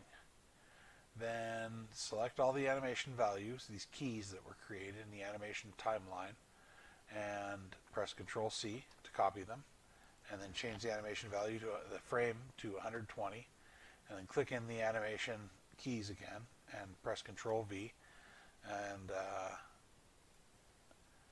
yeah, that pastes the settings. And now select target bubble blue in the hierarchy and then find the animator window. Um, this is a state machine that allows you to control animations. Now we just made all those three animations and they should be piled up inside of that state machine. Um, state machines are a handy way to keep track of what's happening and provide logic to move from one state to another state. And so it can just keep doing the thing that is in that state. Um, and uh, using a series of state machines, you can logic out just about anything. So the state machines are a handy attachment to the animator system. Um, so in the animator window, which is available in, and this is different from animation window, this is the animator window. And in window, you go to window and then animation and then animator um, in order to get to it. And uh, if it's currently showing layers, then you just need to click on the parameters button, a tab up here at the top. And uh, then we're going to add hover, touch, end, and spawn parameters. And they're all triggers. So hover and touch and end and spawn. Okay. And then we're going to set the idle animation as the default layer state. Um, and then we're going to make a transition from any state to idle animation. Um, and this transition has to be dependent on spawning. So when it's spawned, it resets to the default uh, animation state, no matter what animation state it's been moved to uh, in the interim. Um, and then we're going to create a new transition to target bubble touch animation. Um, and we're going to make that transition uh, dependent upon um, the condition of touch. And then another transition that goes to death that just always goes from touch into death so that it because that's what follows being touched for a bubble. Um, so uh, which is which is sad. Tragic story all about bubbles. Um, catch it now in your local full dome. And so now now that we have the transitions set up um, this one requiring touch this one requiring spawn um, we can link the animation, the animators, to the various control modules here in at the target bubble blue animator on enable and an animator controller components. So just drag target bubble blue onto the animator value on each of these uh, components. And that is the target bubble blue. So now that we have it built, um, okay, so to finish up target bubble blue, um, we're going to get into the selection controller and uh, we're going to set the target bubbles hover as the selection object in selection hover. Um, and we just set both of the animators. Um, we're also going to want to add a component of player points. Uh, this is what gives players the number of points that they get when they actually pop the bubble. Kind of an important component for games and for the for the uh, enemies in the game, which is like this is what that's what this is a, the, a target, I suppose. Um, so now that we have the target uh, completed with player points and the selection controller linked, um, we're going to make a prefab out of it. So we're going to drag target bubble blue into prefabs. And that creates this prefab right here. And then with it selected, we're going to duplicate it three times. One, two, three. And then open it up. Open up the first duplicate. Uh, let's rename this first duplicate target bubble red. And it'll ask if you want to rename the file, and you do want to rename the file, otherwise they're all going to remain various uh, versions of target bubble blue. And uh, yeah, maybe you want that, but I don't. Um, and so target bubble red, we should drag the material onto the sphere and then then the target bubbles pop change it to a color of red, and then go back into target bubble red here, and we're going to go from 1.2 to size 1. And then we're also going to decrease the drag to 0.3, and we're going to increase the reward points to 2, because boy, this is a this is a more valuable bubble because it uh, has less drag. It's going to move faster and jerk around more. Um, okay, so save that and then press the back arrow. It gets us back into the scene. Um, and go ahead and rename this one to target bubble yellow and then open it and its size is going to be 0.9 across the board. And it's worth three points. And its drag should be 0.25 again that increases the speed and it's a smaller bubble and so now it's worth a good three three whole points. Um, now and uh, yeah we're going to need to change the material here on target bubble uh, yellow to uh, the previously made yellow bubble. And that gets, just gets dragged onto the sphere object. And um, let's see. So we got our points changed. We got our size changed. Um, let's take the pop bubbles and make those yellow too. Okay, that's done. So we're going to press back and save. Um, and then we're going to click on the target bubble blue 3 here, and we're going to rename it to green.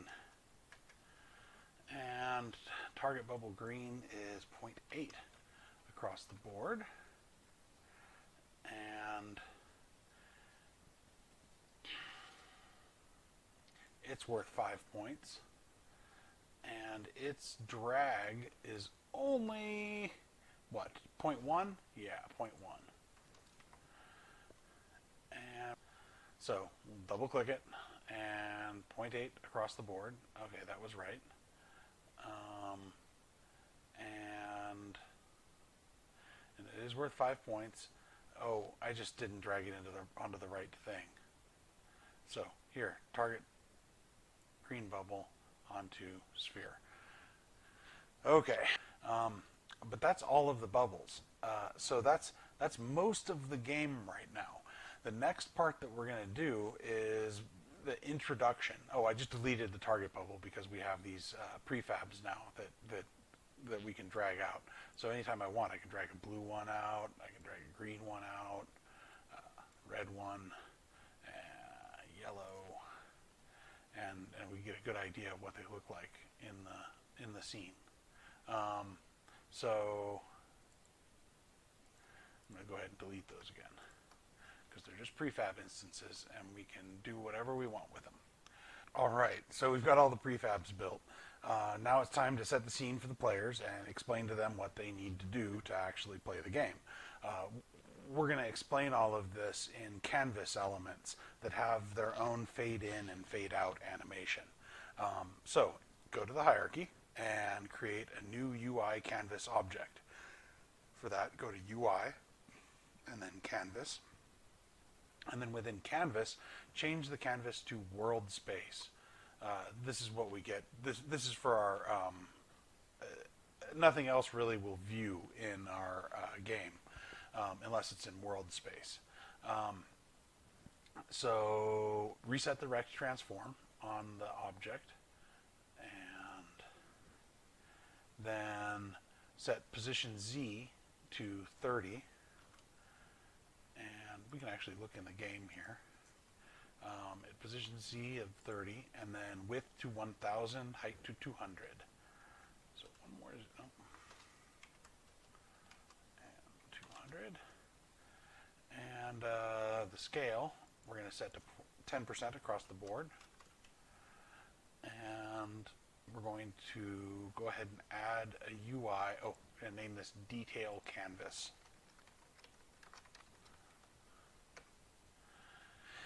And create a new UI text object inside of there. And we're going to hold down Control Alt and Shift at the same time, and then click on this uh, uh, positioning widget, and then click on the lower right-hand corner, and uh, that'll that'll set it to the right location. Um, and then go ahead and change the text in this to a full dome game by your name here. And I'm going to say Belin. And we're going to set the fonts on this to Arise Bold, uh, which is Rise, and then font style bold. And um, we're going to set the font size uh, to 50 and the horizontal and vertical both to center.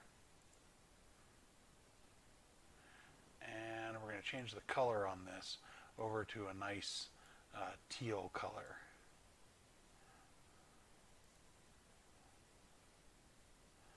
And set the material on this to UI text, which we created earlier.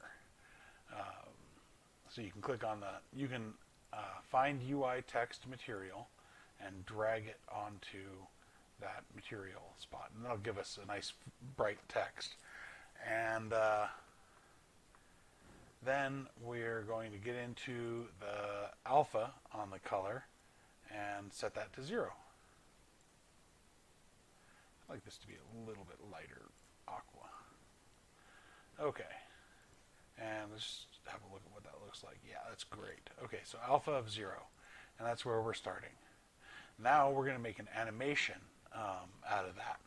Uh, so click on the text object and then click down here, go to your animation view, which you can get to with window and animation, animation, if it's not available. So click on the text and then click on create here in animation clip. Um, name it uh, the animation uh, text fade in out 5S and put it in your animations folder. Um, and uh, I, I, this is just a generic, really quick animation that, that will fade the text in and then fade it back out again to make it look good when it's popping up. Um, so we're going to set the frame counter to zero and press the record button. And then set the alpha on the text to any value and then back to zero again and that will animate that value. So it recorded it. Um, and then we're going to set the frame counter to 30. And we're going to set the alpha of the text to full, 255 value. And then we're going to go to um, 270 eh, on the frame counter and go back into the, the alpha and we're going to just, just mess with it a little bit and take it back up to 255. So that'll mark it as 255. And then we're going to go to frame counter 300, which is actually five seconds in. And we're going to set the alpha of the text back to zero. Okay, and I'm to press record again to finish recording. I'm going to hit the play button on here so we can see how it looks.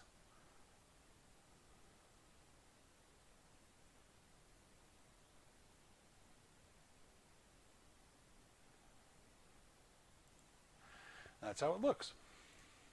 Now, if you'd like to see the whole animation, you can just move your mouse over the window here and press the A button, and it will show you all of the things that are in that animation area. Um, it's a pretty common way of uh, that Unity uses for zooming. Um, now that we have that recorded, we're going to use it repeatedly, uh, and we're going to sh show multiple detail canvases. So uh, we'll go ahead and create a new empty game object and reset it. And we're going to name this game intro. And then we're going to copy, uh, we're going to uh, move detail canvas into game intro. Um, and then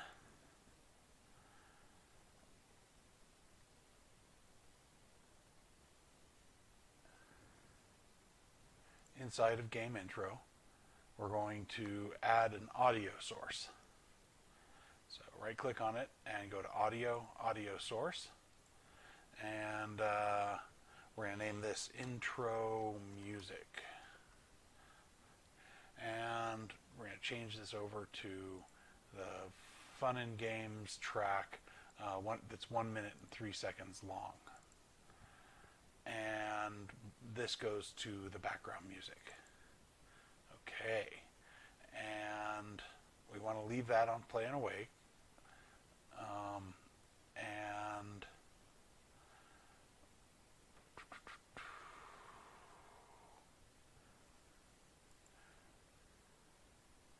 we going to deactivate the detail canvas. So click on detail canvas and then click on this checkbox up here to deactivate it. And then we're going to duplicate detail canvas 11 times. So click it and then use the Control D or Command D uh, 11 times. 1, 2, 3, 4, 5, 6, 7, 8, 9, 10, 11. Okay. And then we're going to change the text in, in all of the canvases to talk about the game. So uh, if you press the Alt button and then click on the arrow, it will close everything that is in it. And uh, likewise, when you open, it will um, open everything in it. And since we're changing the text, we want these exposed. So let's click on text and change this to Bubble Destroyer. Oops. Let me go ahead and spell it right so we don't look ridiculous. And, and then the next one here, I'll leave it as a full game dome game built by Belin. And then this is built with Unity 3D. Now we're just going to say Unity because the 3 is really not so cool looking in the font that I picked out. Um, and some instructions.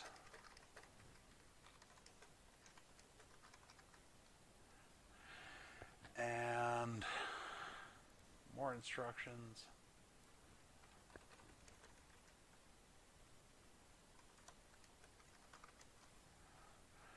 And more instructions.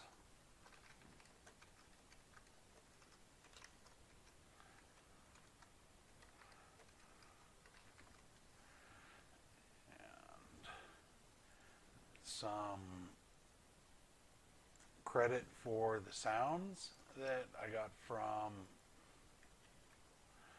freesound.org um, and for the soundtrack that uh, that we that we got from the Unity store.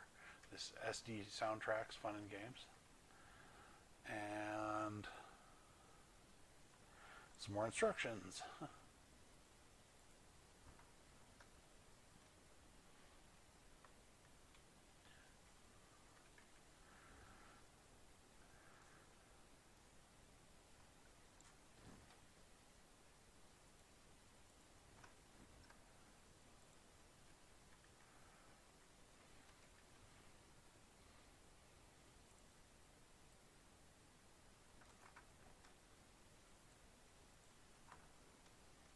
Oh.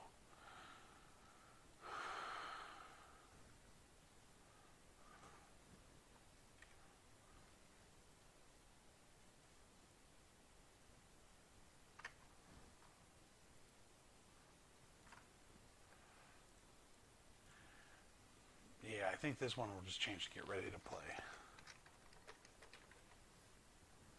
Okay, so now we got 12 canvases, and when the text is displayed in each of these canvases, it will um, show for five seconds and then disappear again. Um, so let's go ahead and click on Game Intro.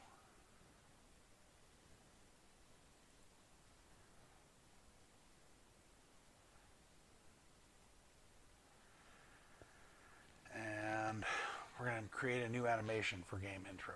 So with it selected, go into your animation window and hit create. And we're going to call this animation game intro.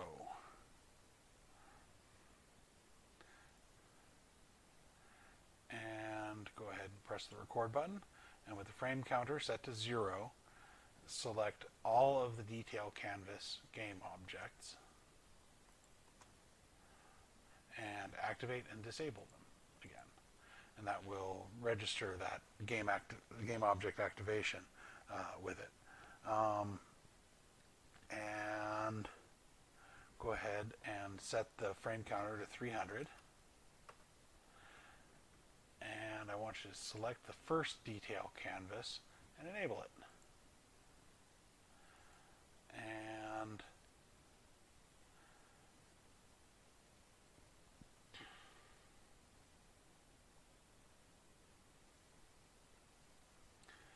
then go to a frame counter of 600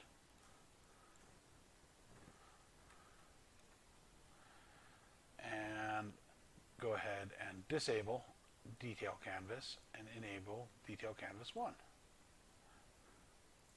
Then go to 900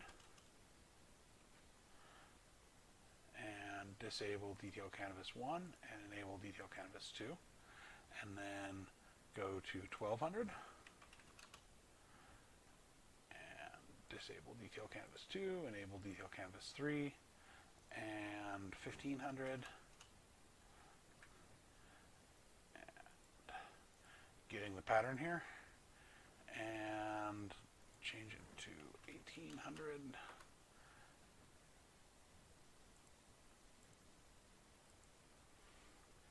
and 2100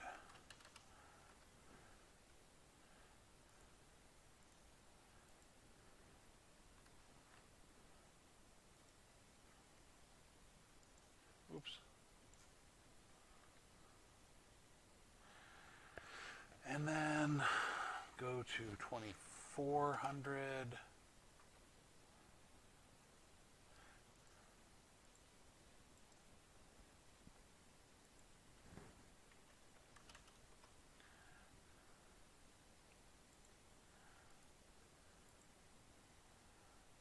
and 3000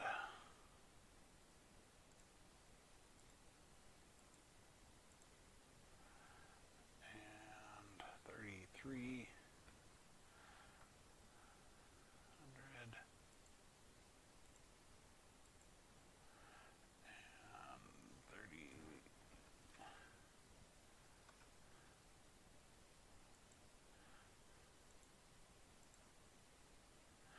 Okay. And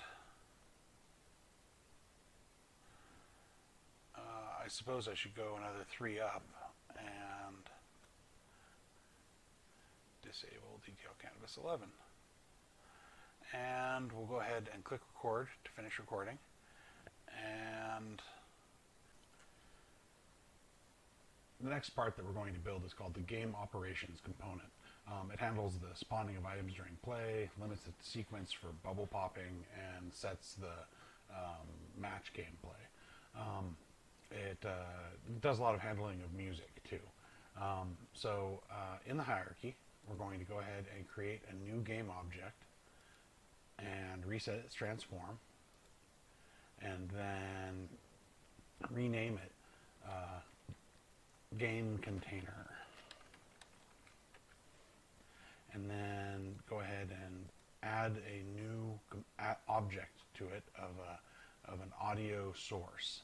So uh, right click and go to audio and audio source and change the audio source to background music. And we're going to go ahead and change the audio clip over to fun and games one minute loop verses um, and set the output mixer as BGM because this is background music and check the loop button. Um, this one should also be set to a volume of 0.5 um, we might do that with the other uh, intro music also. Um, but yeah, and uh, go ahead and after you've gotten it set up like that, deactivate it. So uncheck that box. And then we need to create the endgame screen. So let's create a new empty UI canvas. So right click in here and go to UI and canvas, and then switch it from screen space to world space and reset the transform, and then set position Z to 30, and set width to 1000 and height to 100, and or height to 200. And then the rotation, X should be meg 33 and then on scale set it all the way to 10% that's 0.1 across the board. And then go ahead oh and rename this end game. And we're going to go ahead and add an end game a, a game end component um, to this uh, script that actually does the, the work of, of ending the game. Um, and let's go ahead and drag an instance of the player panel prefab into the end game object. So go find your prefabs and then drag player panel inside of that. And we're going to go ahead and rename this one winner panel. Um, and go ahead and make a copy of the game intro detail canvas. So click on game intro, find detail canvas, and duplicate it with control D, and then drag that into the end game. And we're going to go ahead and change the text on detail canvas here to the winner is.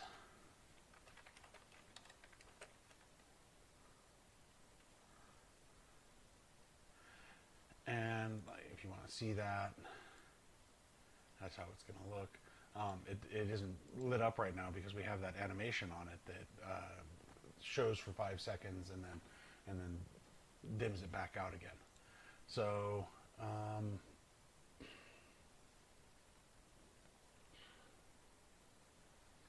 And then after we've got all of that set up, so the winner panel is in there, we're going to go ahead and click on end game and deactivate it. So game container uh, now contains background music that's deactivated and end game that is deactivated. Um, now we're going to create the spawners.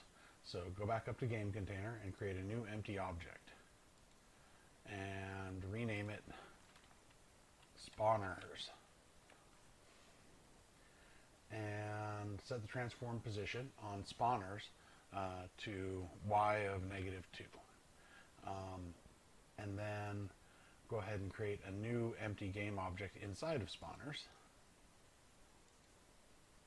And we're going to call this spawn rotator blue. And inside of spawn rotator blue, uh, we're going to create a new empty game object and this one is going to be called spawn location near. And the Z on it should be set to 3. And let's go ahead and duplicate spawn location near twice. Um, and name the first duplicate spawn location mid. And set the Z to 7 and the y to neg 3 and then rename the last one spawn location far.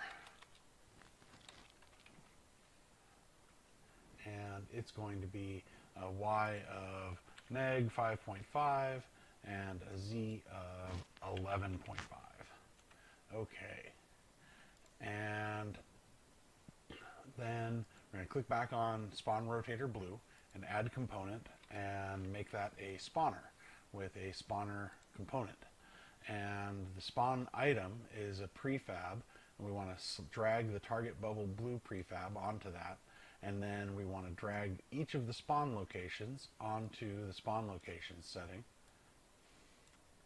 And then um, we want to set the spawn count to 15. And I'm going to go ahead and, with it selected, Um, and we're going to go to the animation window and hit create. And this is going to be called spawn rotator.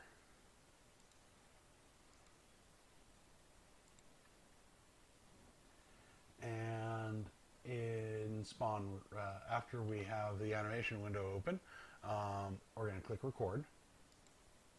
And then we're going to change the rotation value and set it back to zero again. Um, so click on on spawn rotator blue and just set any value in, in any rotation and then change it back to zero.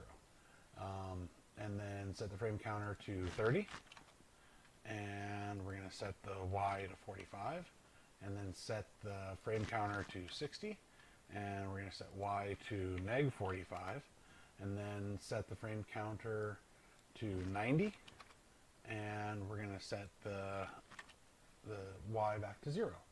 Um, and that'll keep it rotating and uh, so while it's spawning it's going to make an arc of 90 degrees in front of the audience um, which is uh, well in, I say in front but you know it's full dome so the sweet spot of the of the area um, so then with that recording done, we're going to press the record button to end the recording and then select spawn rotator blue. I'm going to press the arrow next to it so it minimizes.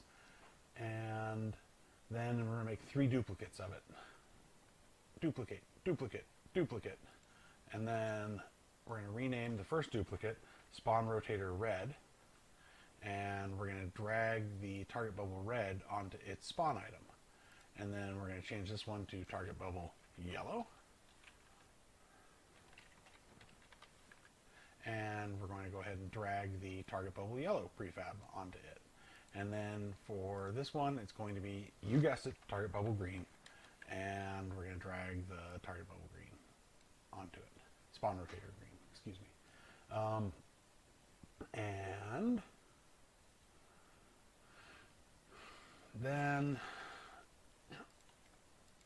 select all of them and deactivate them. And we're going to make game intro a child of game container by dragging game intro into game container. And then we're going to reselect game container. And in the animation window, create a new animation for the game container. So hit create. And this one is going to be called game runner. And go ahead and click record. And with the frame counter set to zero, toggle background music on and then back off again. And then toggle the end game on and back off again. And then lock the animation window, okay? So that's going to be this little lock button right here. So click the lock icon on it that will keep the animation from changing out of game container, even when we go into the spawners, which have their own rotators. So that little lock icon is up here, uh, up here, and it's kind of hard to see, but you can click on it. Um, and then uh, select all the spawn rotator game objects and spawn and spawners, and toggle them. And then set the frame counter to 3600. And we're going to go ahead and deactivate game intro. And then set the background music to active. And then select all the spawn rotator items and activate them. And then we're going to set the frame counter to 10,800. Um, I think it gives us a three minute game or maybe a two minute game. Um, and uh, this is the end. Um, we're going to deactivate all of the spawn rotator game objects. So just uncheck them after having set this to 10, 8, to 10,800. Um, then deactivate the background music and then activate the endgame object. And set the frame counter to 11,400 and then deactivate the endgame. And go ahead and click the record button to finish the animation recording. And then remember to unlock the animation window uh, using the little lock icon right there. Um, okay. All right, now we're going to build the game controller. That's uh, that's we're almost done. I know it's been a real uh, trial, but uh, uh, thanks for sticking with me. Now this is going to connect to the server, and uh, you actually can build your own server. Also, there's an example one set up at FireDome.Heroku app, which we're going to be connecting to right now. But um, uh, there's another video which explains how to set up an instance of this, uh, what's called Fondle Slab server. Um, and this is a, another program that I came up with that lets people interact with the dome using their phone. Um, so uh, go ahead and create a new game object in the hierarchy. So right click and create empty and reset the object. And we're going to name this game controller. And we're going to add a game controller script to it and that automatically also adds a game data and a socket IO network script, um, which is which is pretty handy. Um, and then we're going to create a new.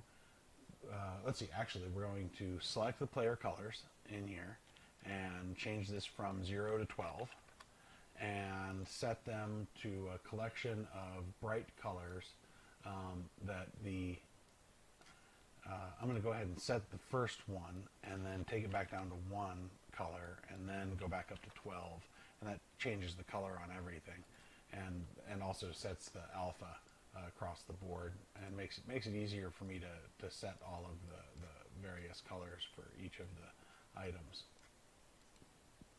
and uh, yeah, you want these to be like pretty bright um, uh, colors uh, the they, they won't show up very well if you don't make them bright. Um, and, and you can select any color you want um, uh, uh, for this purpose.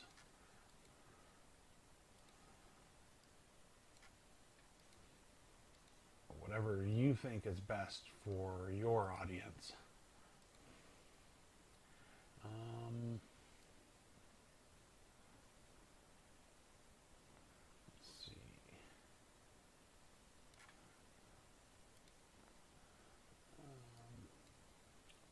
coming up with a bunch of unique colors, 12 of them is actually, and, and having them all be bright is more difficult than you might think. But you'll get a chance to experience this for yourself. What color do I use? What color do I use?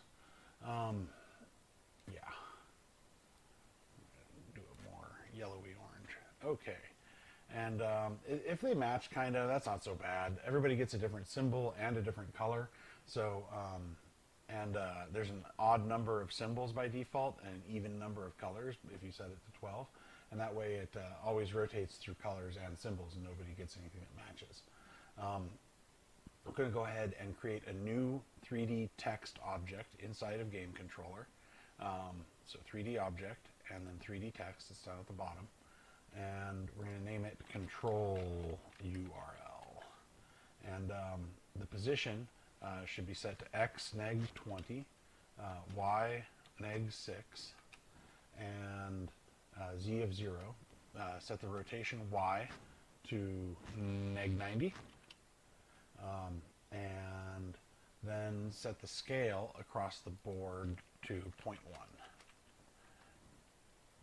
And then set the font size uh, down here at the bottom to 200.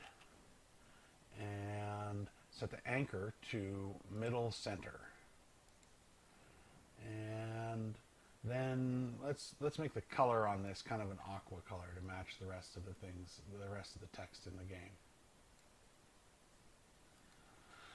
And we're going to drag this control, we're going to click on game controller and then drag this control URL object onto the uh, Socket.io network show URL and then we're going to drag the player prefab out of prefabs and onto the player option here on game controller. So go ahead and grab that, drag it in there. And then um, player panel gets dropped onto player canvas. And we're going to go ahead and create a new game object in the scene. And reset it. Important to reset it. Um, and we're going to name this the um, player spawn. And then back in game controller, we're going to drag player spawn onto the spawn container. Um, and then we're going to open up uh, our game container and find winner panel and drag that onto winner canvas. And then we're going to look for score canvas and drag that onto player list. And we'll leave the post game delay at 5. And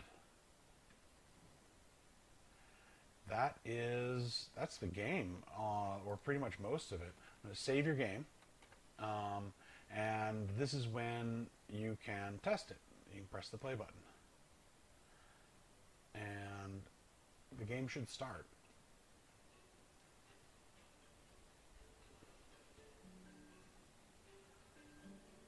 Now see the URL changed to the short version of the URL um, there on the left.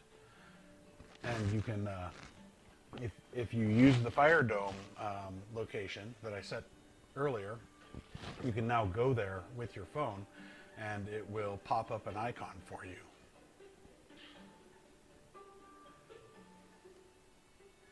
Now, uh, this game is designed to sit here and play in loop um, and just allow people to pick up and play whenever they want. Um, you could uh, add additional logic that checks to see if there are people signed on and how many there are, and then launch different kinds of games or change the properties of the game.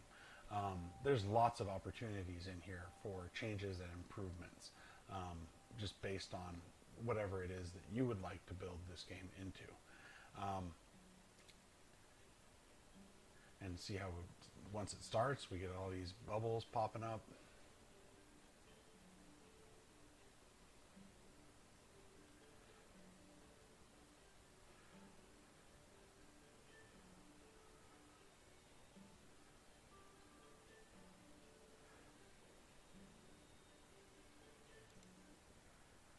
Okay, and there's a couple of cleanup things to do here at the very end. Um, I want you to go ahead and get into your hierarchy and right click and create an empty object. Um, reset it. And uh, we're going to name this game environment. And uh, you can drag the directional light into game environment. You can drag the, the reflection probe, the floor, the roof, the fog container, and both wind zones, and both of the bubble rings. Um, into the game environment. And that uh, that's just uh, cleans up your uh, hierarchy here so the, that things that aren't going to change inside of the game are all inside of this, uh, this, this object. Um, and you can even get a little bit of additional performance by checking the static box on that and then say yes change children. Um, and that'll just make it so that all of those game environment items are set and never change inside of the game and uh, take up a little bit less memory uh, because they are static. Um, not just less memory, but less processing power. They don't call as many update uh, frames uh, and, and other things inside of Unity.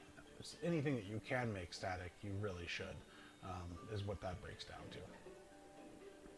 Anyway, um, and uh, one last thing to do uh, is a good idea to go into your lighting window. Um, so window, rendering, and lighting settings. Um, and then inside of your lighting settings, um, generate lighting again. Ma- make sure this auto generate isn't checked, um, and hit that generate lighting button, um, and uh, that ensures that you're uh, ready to build. And uh, yeah, so that is the complete game. Now, at this point, you can do things like customize it. You can change those prefabs so there are other things. Um, you can do uh, a whole variety of, uh, of script changes um, by just getting in here and editing the, the scripts that I provided for you. Um, and uh, you can really build an, uh, just about um, any kind of game you really want uh, using that in, in that uh, input system that this comes with. Uh, you just have to write your own input module if you want to do something besides point and click style games like this one. Um, and uh, there's actually built into this the ability to select and move objects around in the scene too. So um, yeah, you can experiment with all of the scripts that are here, and I hope that you've learned something and that, that you enjoyed this tutorial.